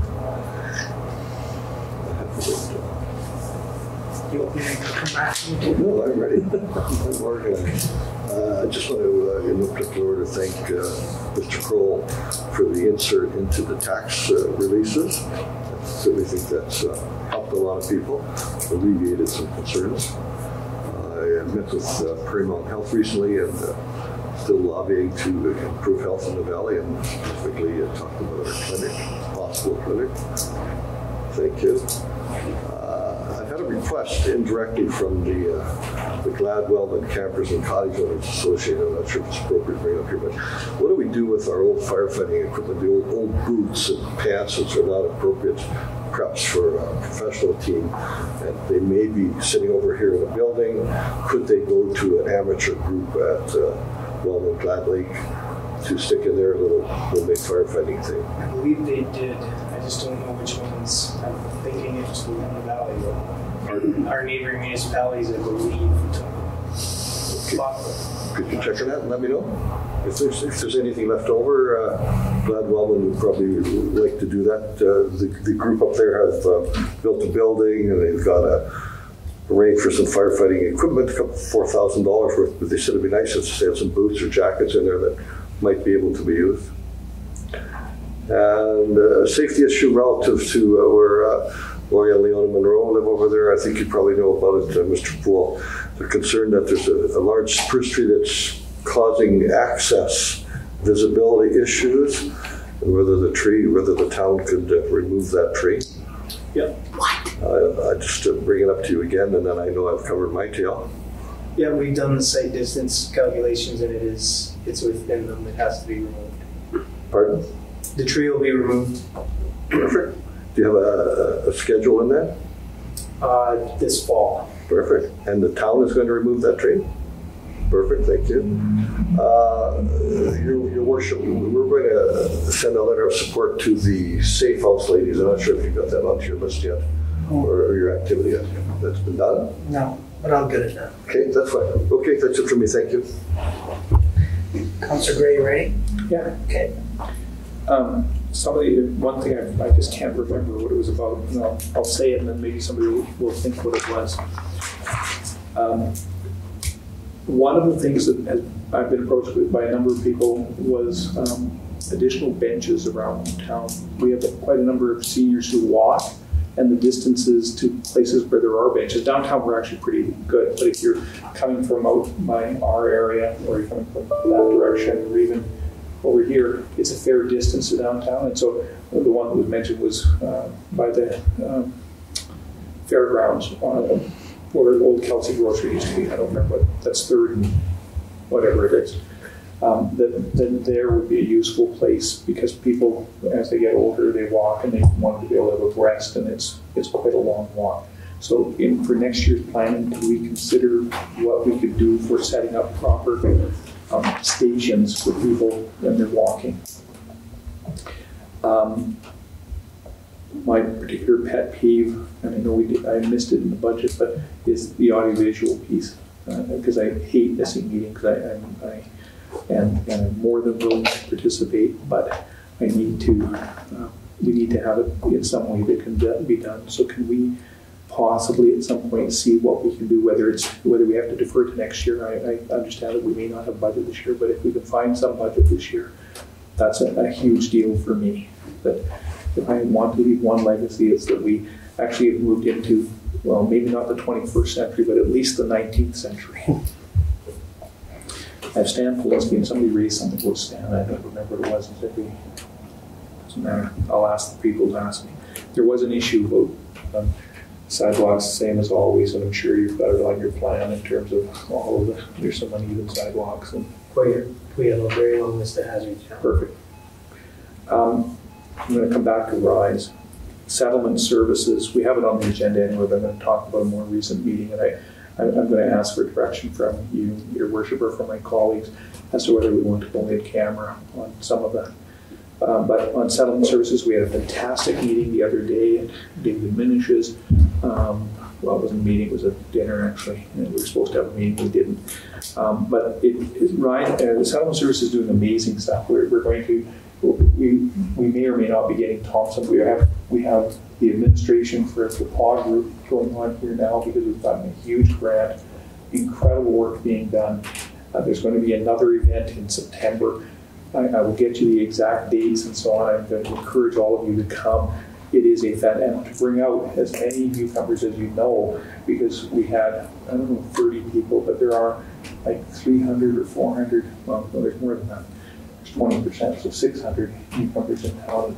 And really, um, we are doing pretty well in terms of integrating newcomers and, and, and making um, people feel uh, welcomed in the community. I, I think I'm really, there are things I'm not so proud of with Long River, and there are things I'm incredibly proud, and that's one of the things I'm incredibly proud. of. Anyway, I think settlement services done a fantastic job. I, I can send you the minutes. We don't do a lot of, of motions though. I mean, they just do a lot of work. There's something about the credit card, the strategic planning thing. I'm, I'm not there on the that here weekend as well. So we can maybe talk about the dates, or you can go without me, or whatever. I want to come back to Rise. Uh, we had a surprise attendee at our last Rise meeting. Um, the reeve of the arm of Oswald Minute, and because it impacts um, intermunicipal relations, it it may be that the discussion of RISE should be adjourned to, to um, uh, the in-camera piece. I don't know, if Councilwoman Tony, what you, I, I certainly don't have any problem um, with what I'm going to say. It'll come as no surprise to anybody. But um, we do have negotiations going on, as we've been reminded, and I think it may not be in our interest to be, it's in everyone here's interest to know our thoughts candidly, and putting them out candidly may not be in our interest in terms of ongoing relations. That's fair, I think we can add that to it. That, I'm just thinking that that issue might be best Yeah, I think you're right. done in a different way. Yeah. That's it. Okay, thank you. Counselor Dore. Uh, the only, nothing to report on, but the only request I have is uh, if uh, Mr. Poole could give us a timeline on uh, when we might be receiving the report from Public Works with regards to a resolution that was passed a number of months ago with regards to traffic around 13th and 3rd and what might be done there and, you you know, I guess what your opinion of the situation is or what your department's opinion of the situation is. So I guess when, if, anytime this fall, whenever, I, I wasn't- I wasn't pushing it because I knew you had lots of other duties, so. Yeah, um, I'm guessing like the October committee of the whole. Okay, excellent. That's it for me. Okay. Counselor Tony. Um, Rise, I guess the first part with Rise, I guess we are putting that into camera. So the rest of that information, I guess we can just discuss at that time, which takes a big chunk of my, my time away, but that's fine. Um, I know that in our last committee of a whole that we talked talked about um, bringing that curfew bylaw back to rescind, but I don't see it on today's agenda. Um, so possibly the next one. And just in regards to the graffiti bylaw, if that wouldn't, I think we talked about that one coming back and just having some discussion about it, which I don't see on the agenda either. And just in regards to that, thank you, Mr. Poole and your crew for cleaning up the graffiti that was left by the chamber office, more specifically on the Swan. So thank you for that. Um,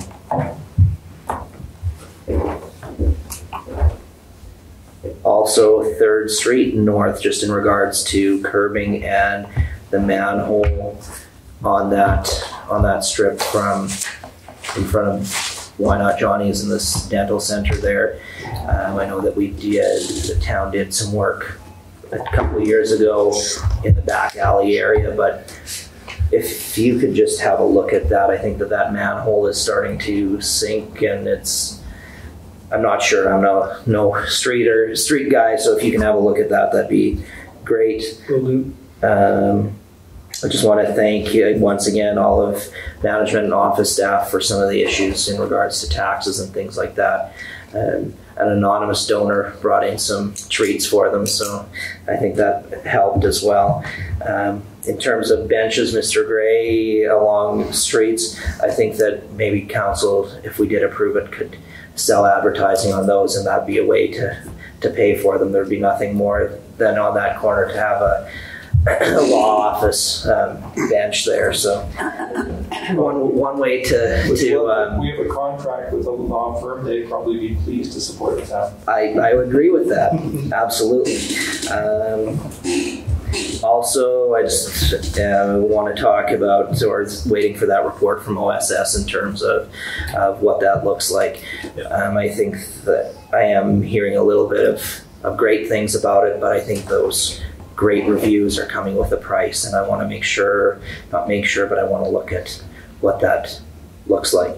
Um, also, there is um, a campaign coming forward um, with a shop local piece in it in our local newspaper, um, and I'm not sure what that looks like in terms of what the town might want to do anything of support in that, and I don't know if we do or not, so that's up to management, but just in regards to, you know, the two ladies that were speaking about it, um, and I know that we do do a lot of shop localing, shop shopping local with that. It might be a good opportunity, but like I say, I don't know what that looks like. So hopefully, you guys can have a look at it if you like. Um, that's all I have on my list, other than Rise, which we'll be talking about it in camera. Council Moriaux.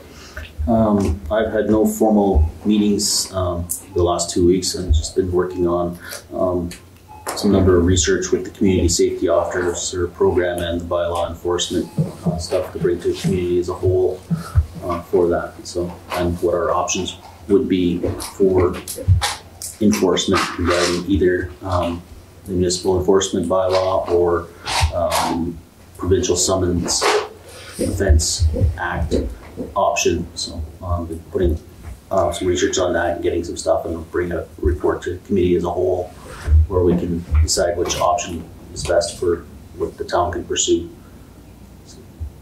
Okay, thank you. Councilor Fraser. I like the uh, bench idea.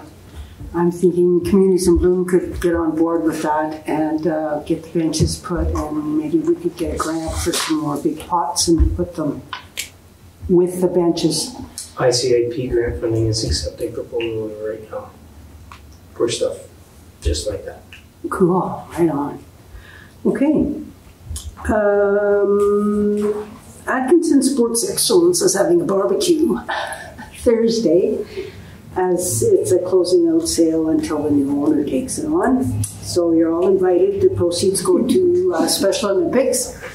You know who the new owner is, right? I'm not telling you.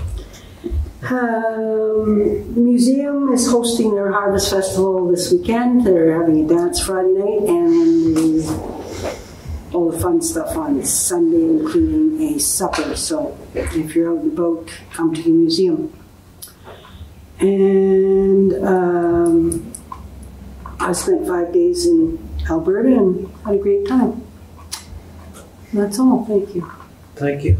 And the plug that you made for your, your business there. So, Councilor Gray. You noticed that? Things that arose out of council's reports. Um, one was OSS. Did we send something out either in the tax notices or in the last water bills about not putting your OSS out in the street unless it's full? For commercial, for residential, it's a flat rate. For commercial, it's every left we get charged. Oh, it's not for, it's not Yeah, for. it's not residential. Okay, I thought it was residential too. Because I've been telling everybody I could see, don't take it out unless it's full. I- I've been, I've been holding mine back till it's full. Exactly. Me too. Same here. Well, why wouldn't we do it? Well, because there's no figure pretty skating. It's still using energy, stop starts, blah, blah, Saves green them. team, carbon dioxide, starting. I the environmentalist. And the other, the other, not free. it's without cost. The other is, I'm concerned about the, the fireman's equipment thing. I, I understood we were replacing it because it was expired and not able to be used. Uh, I think the idea of selling that to another municipality or giving it to be volunteers, I mean, it would be bad enough to have trained people going in with equipment that was past. To give it to somebody who thinks it's going to be perfectly fine and turn out it's bad, that would be brutal. I, I'm, I've got to be honest, I'm not much in favor of that. If it's past, it's past. Get rid of it. It's, it should be destroyed. It's not. It's, it's standard procedure for Uh, uh, fire, firehouses and, and ambulance houses across North America. Um, handed off to the poorer cousins. Oh my God. It's, there's a lot of towns that wouldn't have anything if it wasn't for someone else giving it to them. Okay. Well, Even though, you know, well, technically it's yes. run out. Okay, well, here's my problem. Minitonas and, and Swan Valley West cut taxes. If they need four shoot, suits that cost six thousand dollars each or whatever the heck we had to pay for them, then they should pay for them. Yeah. I, I, can't imagine sending my my own relatives or, or friends or people I grew up with into dangerous situations saying, here's the stuff that's no good for our people, but you go wear it, and on the off chance it works, good on you. And if it doesn't, well, we'll see you some other place. I, I just think that's bizarre. Like, maybe it's usual practice, and but I really want to talk about that at some point in the future because I. I just think it's wrong. It's, it's like me going and saying, "Well, I've got some cheese whiz that's two years out of date from the store, but you know what? I'll put it in the hand. I'll put it out for the for the uh, um, donations. What the heck is that called? Food bank. Food bank. And you go, yeah, no, I don't think so. I was trying not to poison the other people just because we're not going to poison ourselves. Same thing. Councillor Whyte. I'm just going to have to assume that the expectations of a municipal entity like a community or a town relative to their firefighting equipment are have some degree of rigor, significant rigor, I would hope. But they don't, we as a bunch of volunteers don't have the same expectation nor the same rules. And it might be sufficient for us, but certainly not when government has rules. Those rules don't necessarily apply to somebody else. That's not my objection, but sure, let's, let's deal with it in another discussion. can I suggest that management look into the legalities and what our liability is if we do do something with that, um, so that we don't expose ourselves to a liability issue where, as we determine something that uh, protective equipment that is now past its best before date, um, because with the WCB legislations and things like that right now, um, last thing we want to do is just like with the procurement processes, there's rules and regulations we need to follow that uh, we shouldn't be, and we feel sympathetic to the volunteers that don't have it, but we give them a, a jacket or a firefighter suit that they think they're safe in, but they may or may not be, and they says, well, we got it from the of Swan River, and now there's a liability issue, even though, um, like I know from communities that stuff, that agreement is agreed upon when it's first on there, but that jacket sits now for another 10 years in that shack that's never looked at, never serviced or um, maintained is now even less. And someone puts it on thinking that they're fully safe to go fight a cottage fire um, or and get injured on it. And then WCB comes back, well, where did that jacket come from? Well, we got it from the town of River. They, they told it was totally fine or whatever because the story changes. So I just suggest that management looks at the uh, legalities of that with the NFPA I- um, stuff. I- Not just the legality, I, I, for, for me, it's even more, because I, even if we could get escape some form of civil or criminal liability, I would feel sick if somebody wore one of the jackets we give them and was injured because they thought that it was safe and it wasn't. I, I would be, I already have sleepless nights and I just don't need any more.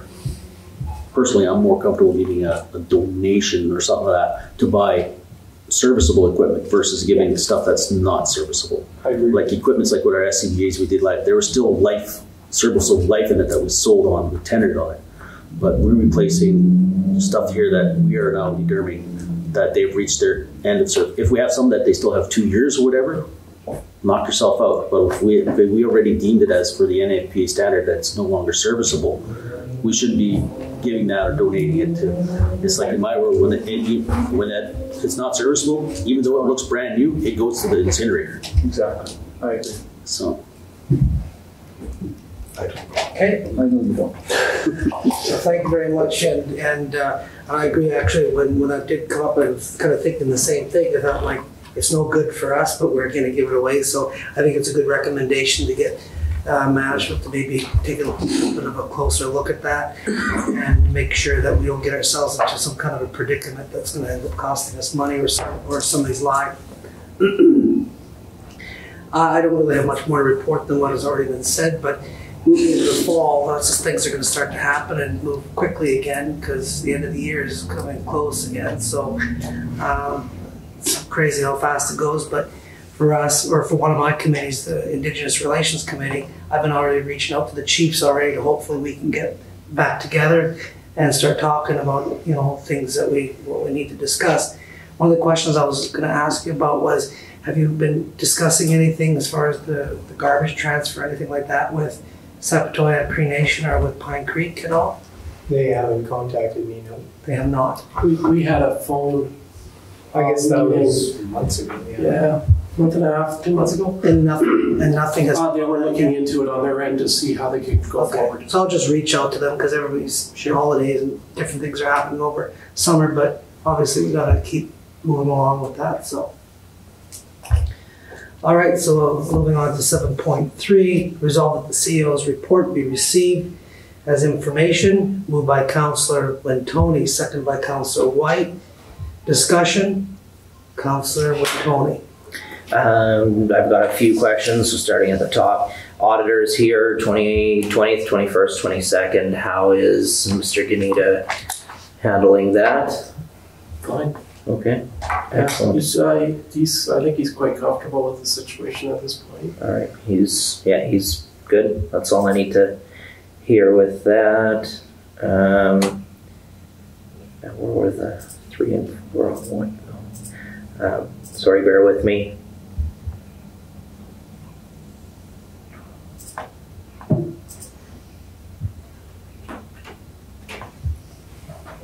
Okay, my three and four is all, all of a sudden gone. Um,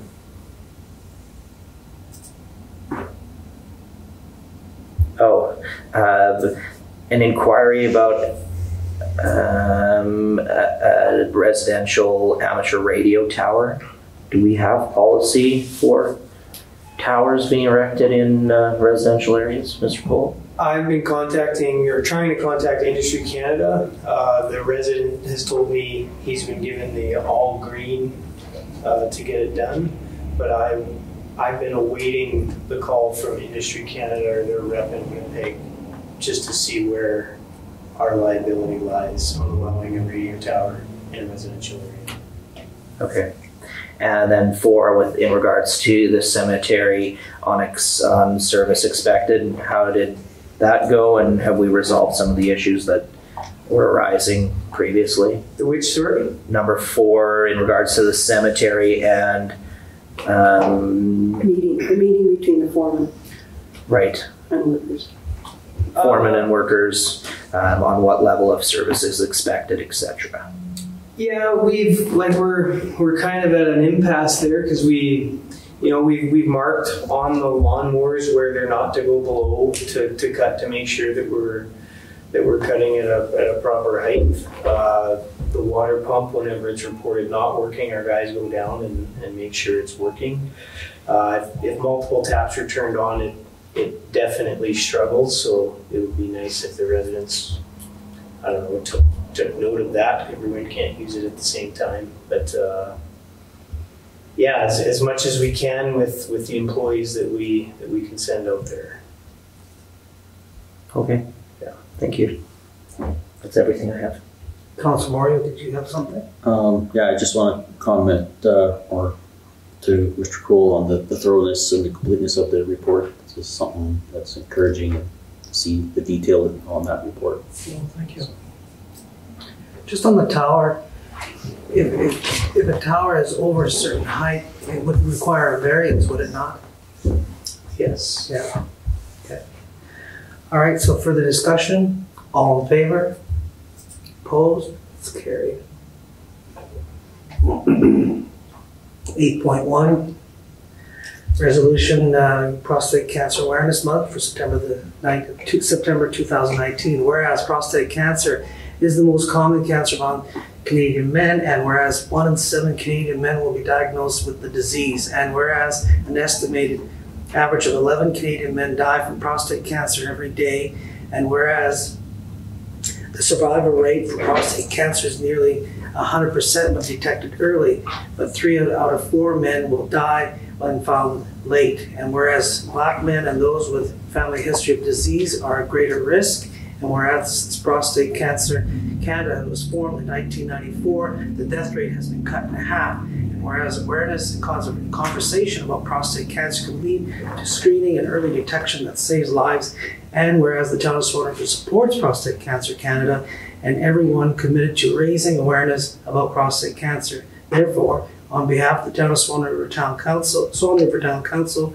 we do hereby proclaim September 2019 as Prostate Cancer Awareness Month in the town of Swan River. Moved by Councillor Wintoniw, seconded by Councillor Delaurier. Discussion, all in favor? Carried.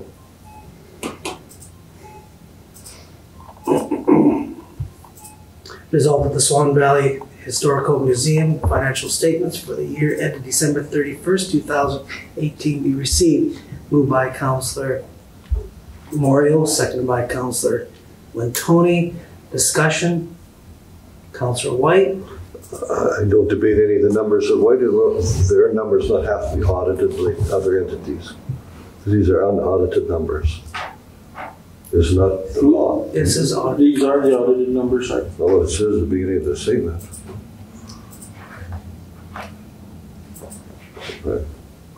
We have not performed an audit or review engaged, engaged in respect to these numbers. Readers of these statements may not be appropriate for their purposes. It's because they're not audited, because they're not required to have an audit due to the municipal contributions are under certain dollar values. So they don't, they don't have to have an audit? Councillor Wintoniw.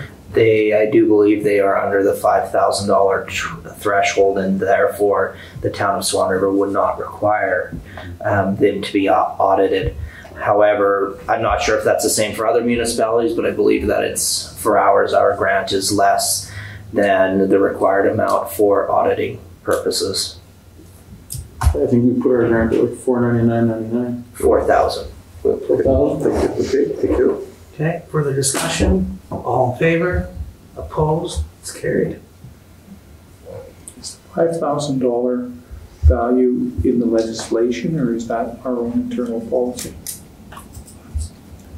Oh, I haven't checked into it. I could check with Terry. I just know that Swan Valley West is six thousand. And, and, uh, so if it's not, if it's not, if it's only required by us, I think we should consider looking at that because, um, and candidly, spending extra money for audits. Well, I have no, nothing against accountants. I don't know why particularly we would want audits, for relatively small dollar amounts. If Memory serves me Councillor right. Oriole? They, they did give us an, an explanation on exactly why they didn't, and there was a Canada Revenue ruling that they were exempt because of exactly some dollar values. And we did have that discussion. I can, our management can dig that up. It was about a year ago that they provided the history of the documents on that. Okay. Just would rather not. I was. Councillor Wintoniw. I was under the impression that was a CRA um, item as well. Um, I'm assuming, I'm not, like, like I say, for Swan Valley West, I'm, I would assume that they would want audited financials if that's the case, but I guess we will find out. If they, if they don't need we don't. Okay. All in favor? Or no, I guess we voted on that, sorry. Eight point three.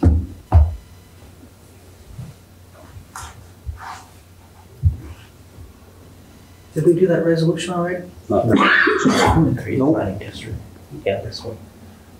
Um, But he's got more. oh, I see. What did I do, jump over? Yeah, you jumped over it, so, but you have an eight point three, just, yeah, I'll read it anyways, but you'll just bump it to the one previous. Uh, resolved that the Swan Valley Planning District audited financial statements for the year ended Dec- December thirty-first, two thousand eighteen be received. Moved by Counselor Wintoniw, second by Counselor Delaurier. Discussion? Counselor There was some, Gray. uh, Just opening it, because there was something I was gonna ask about it. Okay. I don't remember what it was. I think if I'm from the board of the historical society, I want to, I got three hundred thousand dollars. Um, Is, is this the one that the watershed does the, Mm-hmm. Yes. hmm, not interesting. Where are most of the development permits from? Town of Swan River. Maybe you should revisit that. It's due for tender uh, at the end of this time next year. Counselor Moriaux? Um, there was last year, I think before last, before the last election, our chief financial officer did send a memo or communication to council that he recommends that the town put in a bid for the bookkeeping of this organization. What we something to do with it? Is there a requirement we have in district? I don't so. I, I think it's a, it's a voluntary thing. Because the city of Dauphin isn't part of a planning district. What my question is why, since most of the fees come from us, since most of the work is done by us, wouldn't it be, and since I presume, I, I know the only thing I'd want is something that says, yes, we could do it internally, there wouldn't be a problem. Those three things, assuming that those things are all true, then why wouldn't we just do it internally, not be part of it? And we would save triple the, uh, double the uh, amount of the watershed amount. It works out perfect. So consider. So we might want to maybe discuss that in committee of the whole, you know? I That was what I was gonna ask you about, because I, I didn't see exactly the answer in through, but it looks fine. Okay. Any other, any further discussion? All in favor? Okay, it's it's carried. Whereas section three sixty-five two of the municipal act provides that council may in any year designate the immediately preceding year or any earlier year as the year for which property, the taxes in respect of which are in arrears for the year must be offered by, for sale by auction to recover the tax arrears and costs. And whereas section three seventy-two of the municipal act provides that a municipality may set any term or conditions for the sale of a property to be sold for taxes and may set a reserve bid in the amount of the tax arrears and costs in respect of the property. Be it resolved that the town of Swan River place a reserve bid on each property included in the two thousand and nineteen tax sale up to the tax, the amount of tax arrears and cost owing. Moved by Counselor Friesen, seconded by Counselor Gray. Discussion? All in favor? Are there any lots we actually don't want? Too late. All in favor? Okay, carried. Whereas, whereas interest is expressed in subdivided undeveloped lots along Valley View Drive, and whereas the town expects to adopt and accept the responsibilities set out in development agreements which would be required from any, from any other developer organization, and whereas the town of Swan River is the developer for the subdivision including Valley View Drive, therefore be, be resolved that the town of Swan River, in partnership with Municipal Developers Incorporated, initiate a development process on lots 10 through 32 of Plan 2372 according to the Town of Swan River Development Agreement standards. Moved by Councillor Wintoniw, seconded by Councillor Friesen. Discussion? I don't know if that's grammatically correct. The third sentence down, uh, be required off from. I think the off is redundant. You, you uh, propose to make a change? Oh, for sure. Okay. Get rid of the of. Required from any other development organization. What is, what's, The of doesn't need to be in there. Okay. So they're required from any other development organization, okay? Discussion? about the amendment? No, about About the the, main- the resolution. Counselor Gray? Um, do we not have existing lots? We have, a- we discussed this at committee, uh, committee of the whole, we have about ten lots in that southeast development, and we- we sell them at a rate of about two to three per year, so we have about three years supply for lots. But, but, but the, the kicker is we've sold property on this already. I know, Yeah. but, okay, there's two questions there. Um, the first is why. I remember the question, the debate, the debate, that's why, because I have the same views then. Um, I, I remember the discussion, I, I can't figure out why we're develop, we sold the lots.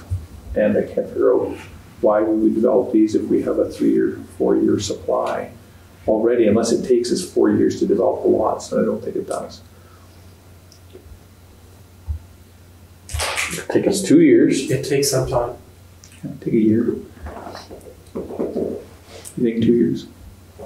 Totally council how, how loose the council is with purse strings to get things done, I suppose. Yeah, the survey costs come back astronomical. Like everything is, this is a resolution to initiate it. Obviously, we have to approve the cost to do it. Counselor Tony. I think that it's a great opportunity if a if a customer wants to come to our community and finds an area that we have lots that are surveyed and ready to go and marketable and that we have put them up for sale and that they have been listed for sale and a customer wants to build on that i think it's our due diligence to to develop those if we don't want to sell them then we should not put them up for for sale to begin with. But if the opportunity is there for a customer to want to purchase those lots, I think it's our responsibility to develop that. And if we do develop it and we sell a few more lots because of it, well, it's a win for everybody. Counselor Gray. Through you, uh, to, I'm not sure who, but are, are we planning on selling these at the same thing that we've been selling the other ones? At a loss? Like, like, this, it's almost like that old joke, you know, the the guys are hauling the grain and what they need is more trips for bigger trucks. And you go, buying grain at two dollars and selling it at a dollar fifty.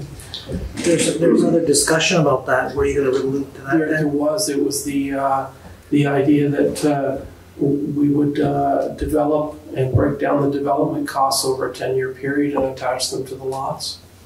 But we haven't done that. Not in the past. But we have, don't we have an existing policy that says we're not doing it? I mean, don't we have to look at this more completely and say, we're going to actually charge for the lots what they're worth? I mean, what the cost is. I mean, I, I, I don't have any problem. I just, I, I, if next year we're going through the budget and it costs us hundred and fifty thousand dollars to develop these lots, right? I will be an unhappy voter here or elsewhere if, if I'm being asked to contribute to basically a subsidy for somebody else's lot. So I, I don't know, we already have a policy, so we have to, I think we have to, as part of that plan, then rescind the other policy and say, we're not gonna do this, we're not gonna give, we'd actually talked about doing that anyway. We're not gonna give away free lots, we're, we're, whatever, or we're going to. But then if we have ten others, why do we need? I, I, I'm not getting it. Counselor Wintoniw, then Counselor Delaurier. I think that this was, uh, uh, we did discuss this at the community of a whole, um, and I think that the intent was for this development, um, and only this, or the, I was under the impression that what we came up with was for this development itself, um, to see what our results would be and then move forward in any other development. But I was, what we did discuss is that the lots would be sold as um, using the precedent of the two that we did sell, and that the development costs would be shared over the remaining lot or the will be shared over the development or over all of the lots in that development over a 10 year period.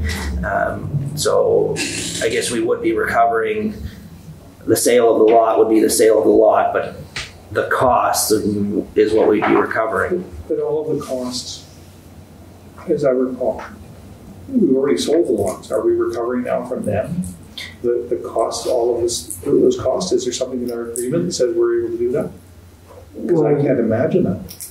We didn't actually have a, a sales agreement, so we contacted the the people and they're they're okay with the, the way this is happening because if we if we would have gone forward with our process, they were going to get hit with a massive hydro cost. Uh, as would every, like if you develop piecemeal, as would every lot, if you do each one as an extension, you know, it's cheaper to develop 20 lots than it is one at a time. So they were asking for a, basically help to, to develop and we decided in the committee of the whole that we would now go forward with the full development as opposed to one lot at a time. I don't remember agreeing with that, that's. Councilor Delaurier? I, I guess, um, well, should this resolution fa- fail, uh, depending on how the argument, we, we should at least consider passing something to get the survey work done so they know what at, height, at, at what height to build their things at. Right. I, I, I would hate, I would hate for this not to pass here tonight and then not to be able to build it or build it too low when this does get developed by whoever ten years from now or whatever. So uh, if, if this doesn't pass, I would I would advocate that we at least get us the survey work done so they know what height to build at. As as far as I agree with Councillor Gray is saying is we're gonna we're gonna sell these at a loss because we no one pays what the cost to develop. That's why we don't have private developers here is because no no one would pay the, the actual cost of the lots. I guess we, we made the choice to develop this when we sold them the lots. We shouldn't have sold them the lots whenever that was six, eight months ago if we weren't going to develop them. So we at least need to get them hydro there in a in a fashion that if we sold the lots, we chose to be developers. How, how did we sell the lots again? I don't remember. They basically put in a request. But, but if we haven't developed them, why do we sell them lots? I'm getting, I'm not getting this. How did that come to us without there being a development plan already for all the lots? That's Yeah, what I'm getting. I guess there there technically is. I guess they're they're not fully developed, but they're legal lots, and they they put in an offer on two of them. And was all this discussed? Because I don't remember any of this discussion. Uh, Maybe it was before I got here, and if it was before I got here, then fair enough. But if it was after I got here, I don't remember any of this discussion, because I would have thought if there were undeveloped lots, that, that, that council would have said, would have been told, look, you're undeveloped lots, we're gonna have problems because you're gonna have hydro costs and so on, they're gonna come back and you're gonna have a bunch of extra costs. Because I would, I can't imagine that I would have listened to that and said, yeah, let's go ahead and take a chance. It doesn't seem like me. Councilor Tony? I lost my where I was going with my story, but um, I guess the, the the yeah we did sell lots. It came to this to us that we were sitting here when the request for the sale of lots came, and we I'm assuming voted unanimously to to sell them at the based on their proposal that they presented to to council. Um, yeah, and absolutely, and I guess this this whole tr- situation transpired from them calling Hydro and Hydro um, telling them that the costs were, would be astronomical in the fact that they would be having to set up Hydro for the the remainder of the lots. So that's where I guess the uh, the proposal coming forward was either if we sold them, we should develop them. If we don't want to develop them, we shouldn't have sold them. Well, or we should buy them back at their cost and buy where we have developed lots. I don't understand. I, I, we, we never, I, if you tell me I'm wrong, I'll eat my words, but I don't remember ever being told we're being sold lots that are gonna cost us a fortune a few months down the road. I could have been, I, maybe I was asleep at the wheel. No, Were we told that? I think we were. It was explained to council that we had water and sewer, but no road plans. Uh, but that was that was about it. There's no services, no hydro, no nothing. Okay, I'd like to see that, I'd like to see the discussion, because I, if we had that discussion, um, then presumably we said, well, that's gonna be on them then. Councillor Delaurier. Yeah, that was definitely said. Okay. No, so, so, uh, would the, the resolution that was passed to sell them lots, can, can, can we find the, what, what does it actually say? Did, did it say that those costs would be on them? I guess, cause how, how can we go back and charge them if we've already sold them the lot, the lots? Well, there, there's, there was no agreement written up. It was just a, you know, a resolution, I guess, for the town to sell the lots. We never actually got any paperwork. There's no sale agreement made. There's, no- so there's no, so how did this, how did it legally change hands with it, was there, It didn't, it hasn't. oh, it- so they haven't bought the lots yet then? No. Well, then let's not sell them the lots. Exactly. I, I was under the impression they had already bought them. They want to live there though. I know they want to live there, but I want to live on the moon, doesn't mean I can live there. Okay, Councillor Wintoniw. Yes, I was under the impression that they bought the lots, as well as that we approved the sale of those lots. I will have to double check, but I just, I don't know of any monetary. And I guess, sure, it was, Go ahead. and I, would- I don't think that they're, they have no issues paying for the cost of, de- of the development for their, for their lots. The question is, is that, or the, I think that their concern is, is that they don't want to pay for development of other lots in which that's going to happen in order for theirs to be developed. That was discussed at the original resolution, because we, uh, we did say that these were undeveloped lots, and we said, well, if they really want to be here, they're gonna have to pay that. Okay, that sounds like something, that sounds like a discussion we would have had. But I, I, if they haven't sold, I, I would, like, I, I'm really concerned that we're going into the development of lots that we don't need immediately. In a time when we have some economic flux. And I, like, I, I, I'm not big on spending a bunch of money on a development at this point. Well, I can't remember who the mover or seconder was, but if it was me, I, I would motion that we table this until we find out if the lots have even sold. Because if, if the lots have not sold, that changes my opinion on things entirely. I would have to They're double two check. they're sold, I think we'd have to double check. Who's the mover and before- second? I can't remember. Councillor, uh, Myself. Tony moved it. I think Delaurier second. That's right. Okay. Okay, Wintoniw and Friesen. Okay, so if that's the case, uh, do you uh, need to table it until we find out the rest of the information? Um, Or we can vote on it right now? Well, I'm going to move that we refer the matter to the committee of the whole for a decision of determination of the parameters and the costs and a report to us at the next council meeting or a future council meeting. Two council meetings? No, you've already, you've already had a mover and a seconder, you need to vote on it. No, we can move to table or we can move to adjourn, we can move to amend. Those are all subsidiary motions. so- But you, you have to have you move or a seconder to do that. Right, and that's what I was just asking, because either way, if you don't agree to that, then we're gonna vote on it. No, no, I don't think that's, that's right. Well, it's not according to Roberts in any event. We're entitled to mo- move subsidiary motions. Is there something in the municipal act that There's a, there's a mover and a seconder, Right? they own the floor until they get their vote. That's not, that's not the law at all. I mean, that's not, that's not how the process works.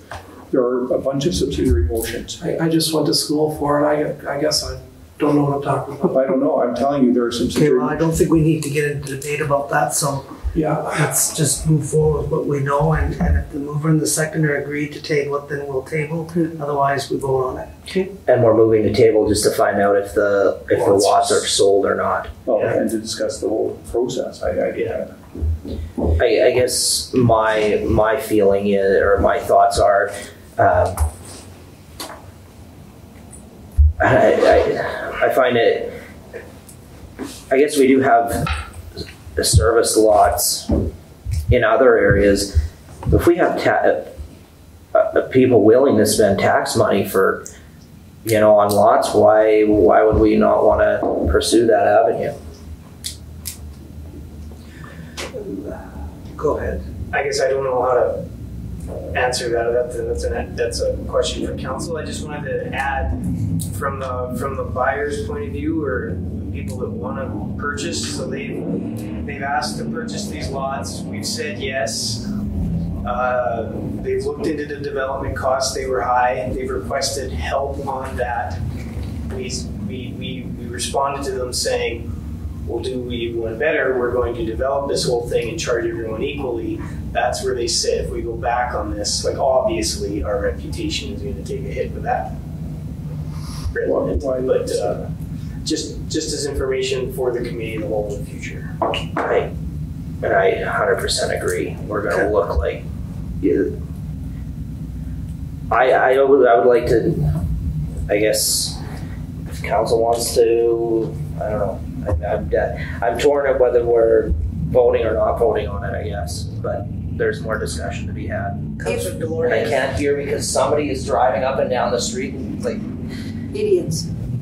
If we vote and it's defeated, what happens then? You would still come back again at some point in time and be reworded or something like that.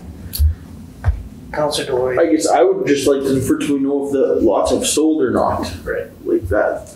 It's like we've accepted their offer to purchase, doesn't that, but that has the legal I, courses taken place. not that I know of, but I, I could be wrong. We, I've got to To the confirm. table, can we know what the answers are? Okay, so can can we, So I guess going back to the legal question, Mr. Croll, we accepted their offer to purchase the lots. Doesn't that compel us to selling them? I have no opinion.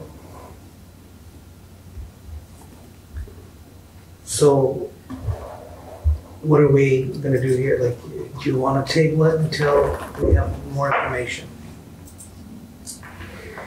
Yes, we're tabling it until we have more information. Okay.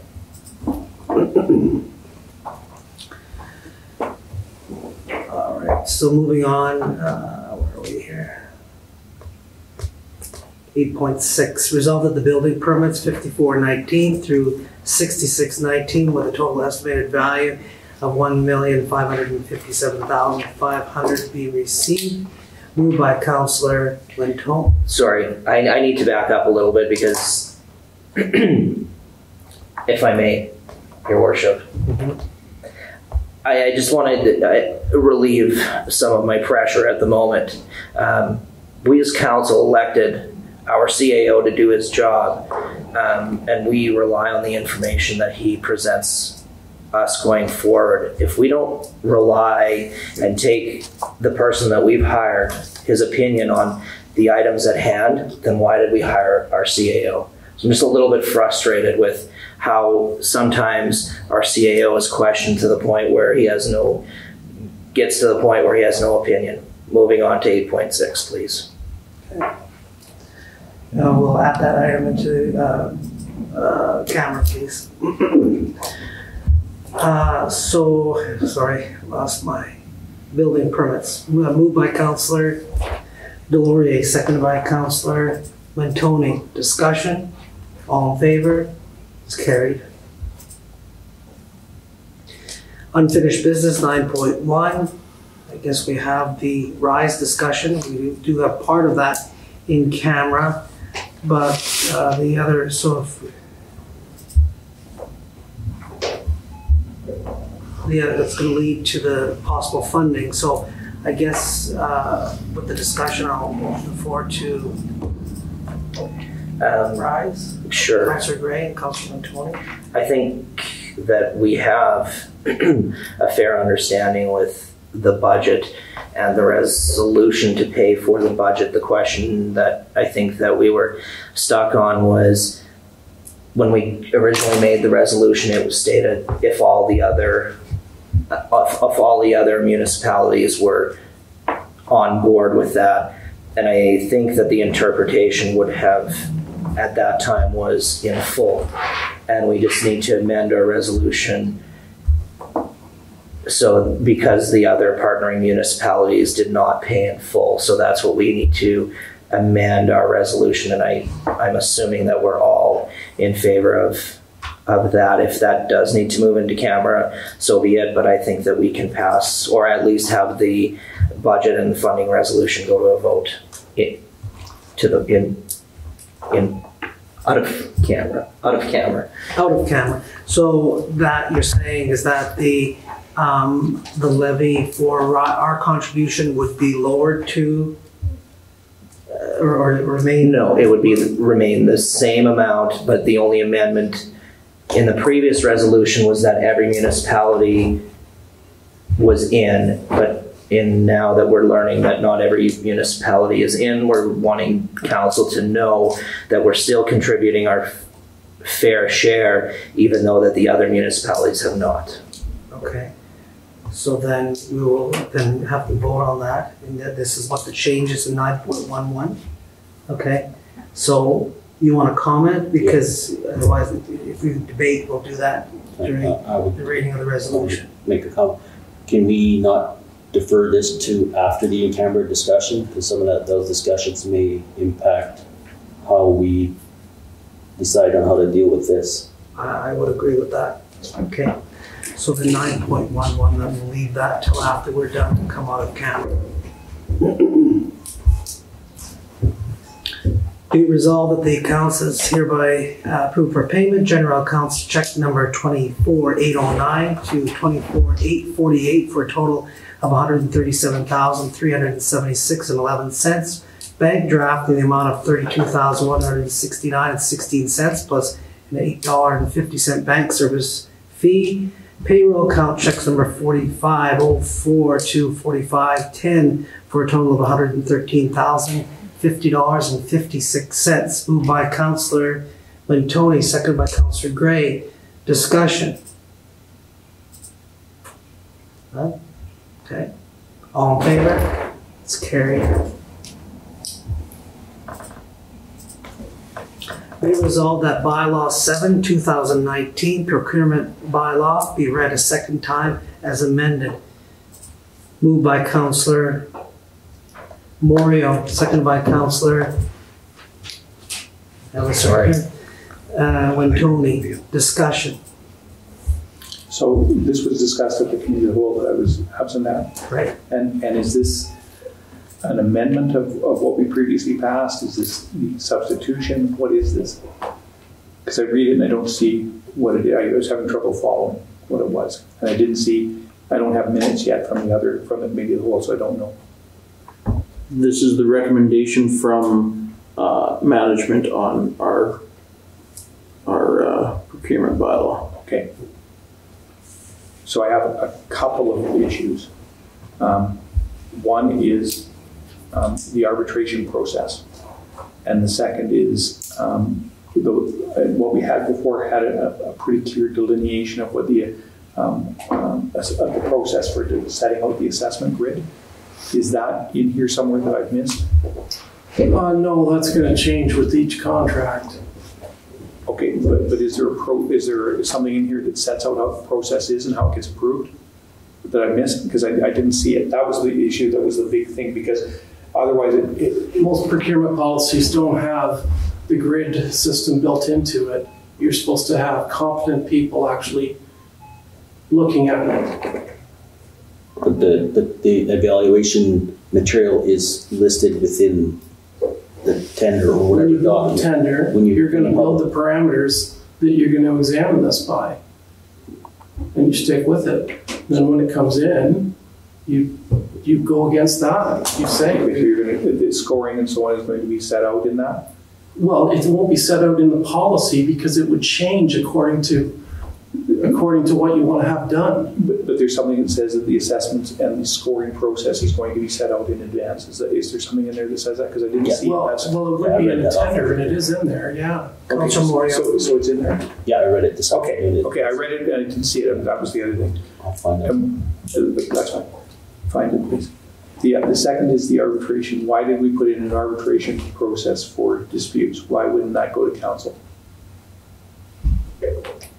Are you guys experts in contracts? I, never mind, never mind. I, again, I think that I echo the same thing as what Councillor Wintoniw said, that we are not professionals as far as drafting these, the- these bylaws and so forth, and we have people that we have hired to do that, and they make the recommendations to us, and this is what they, they tell us.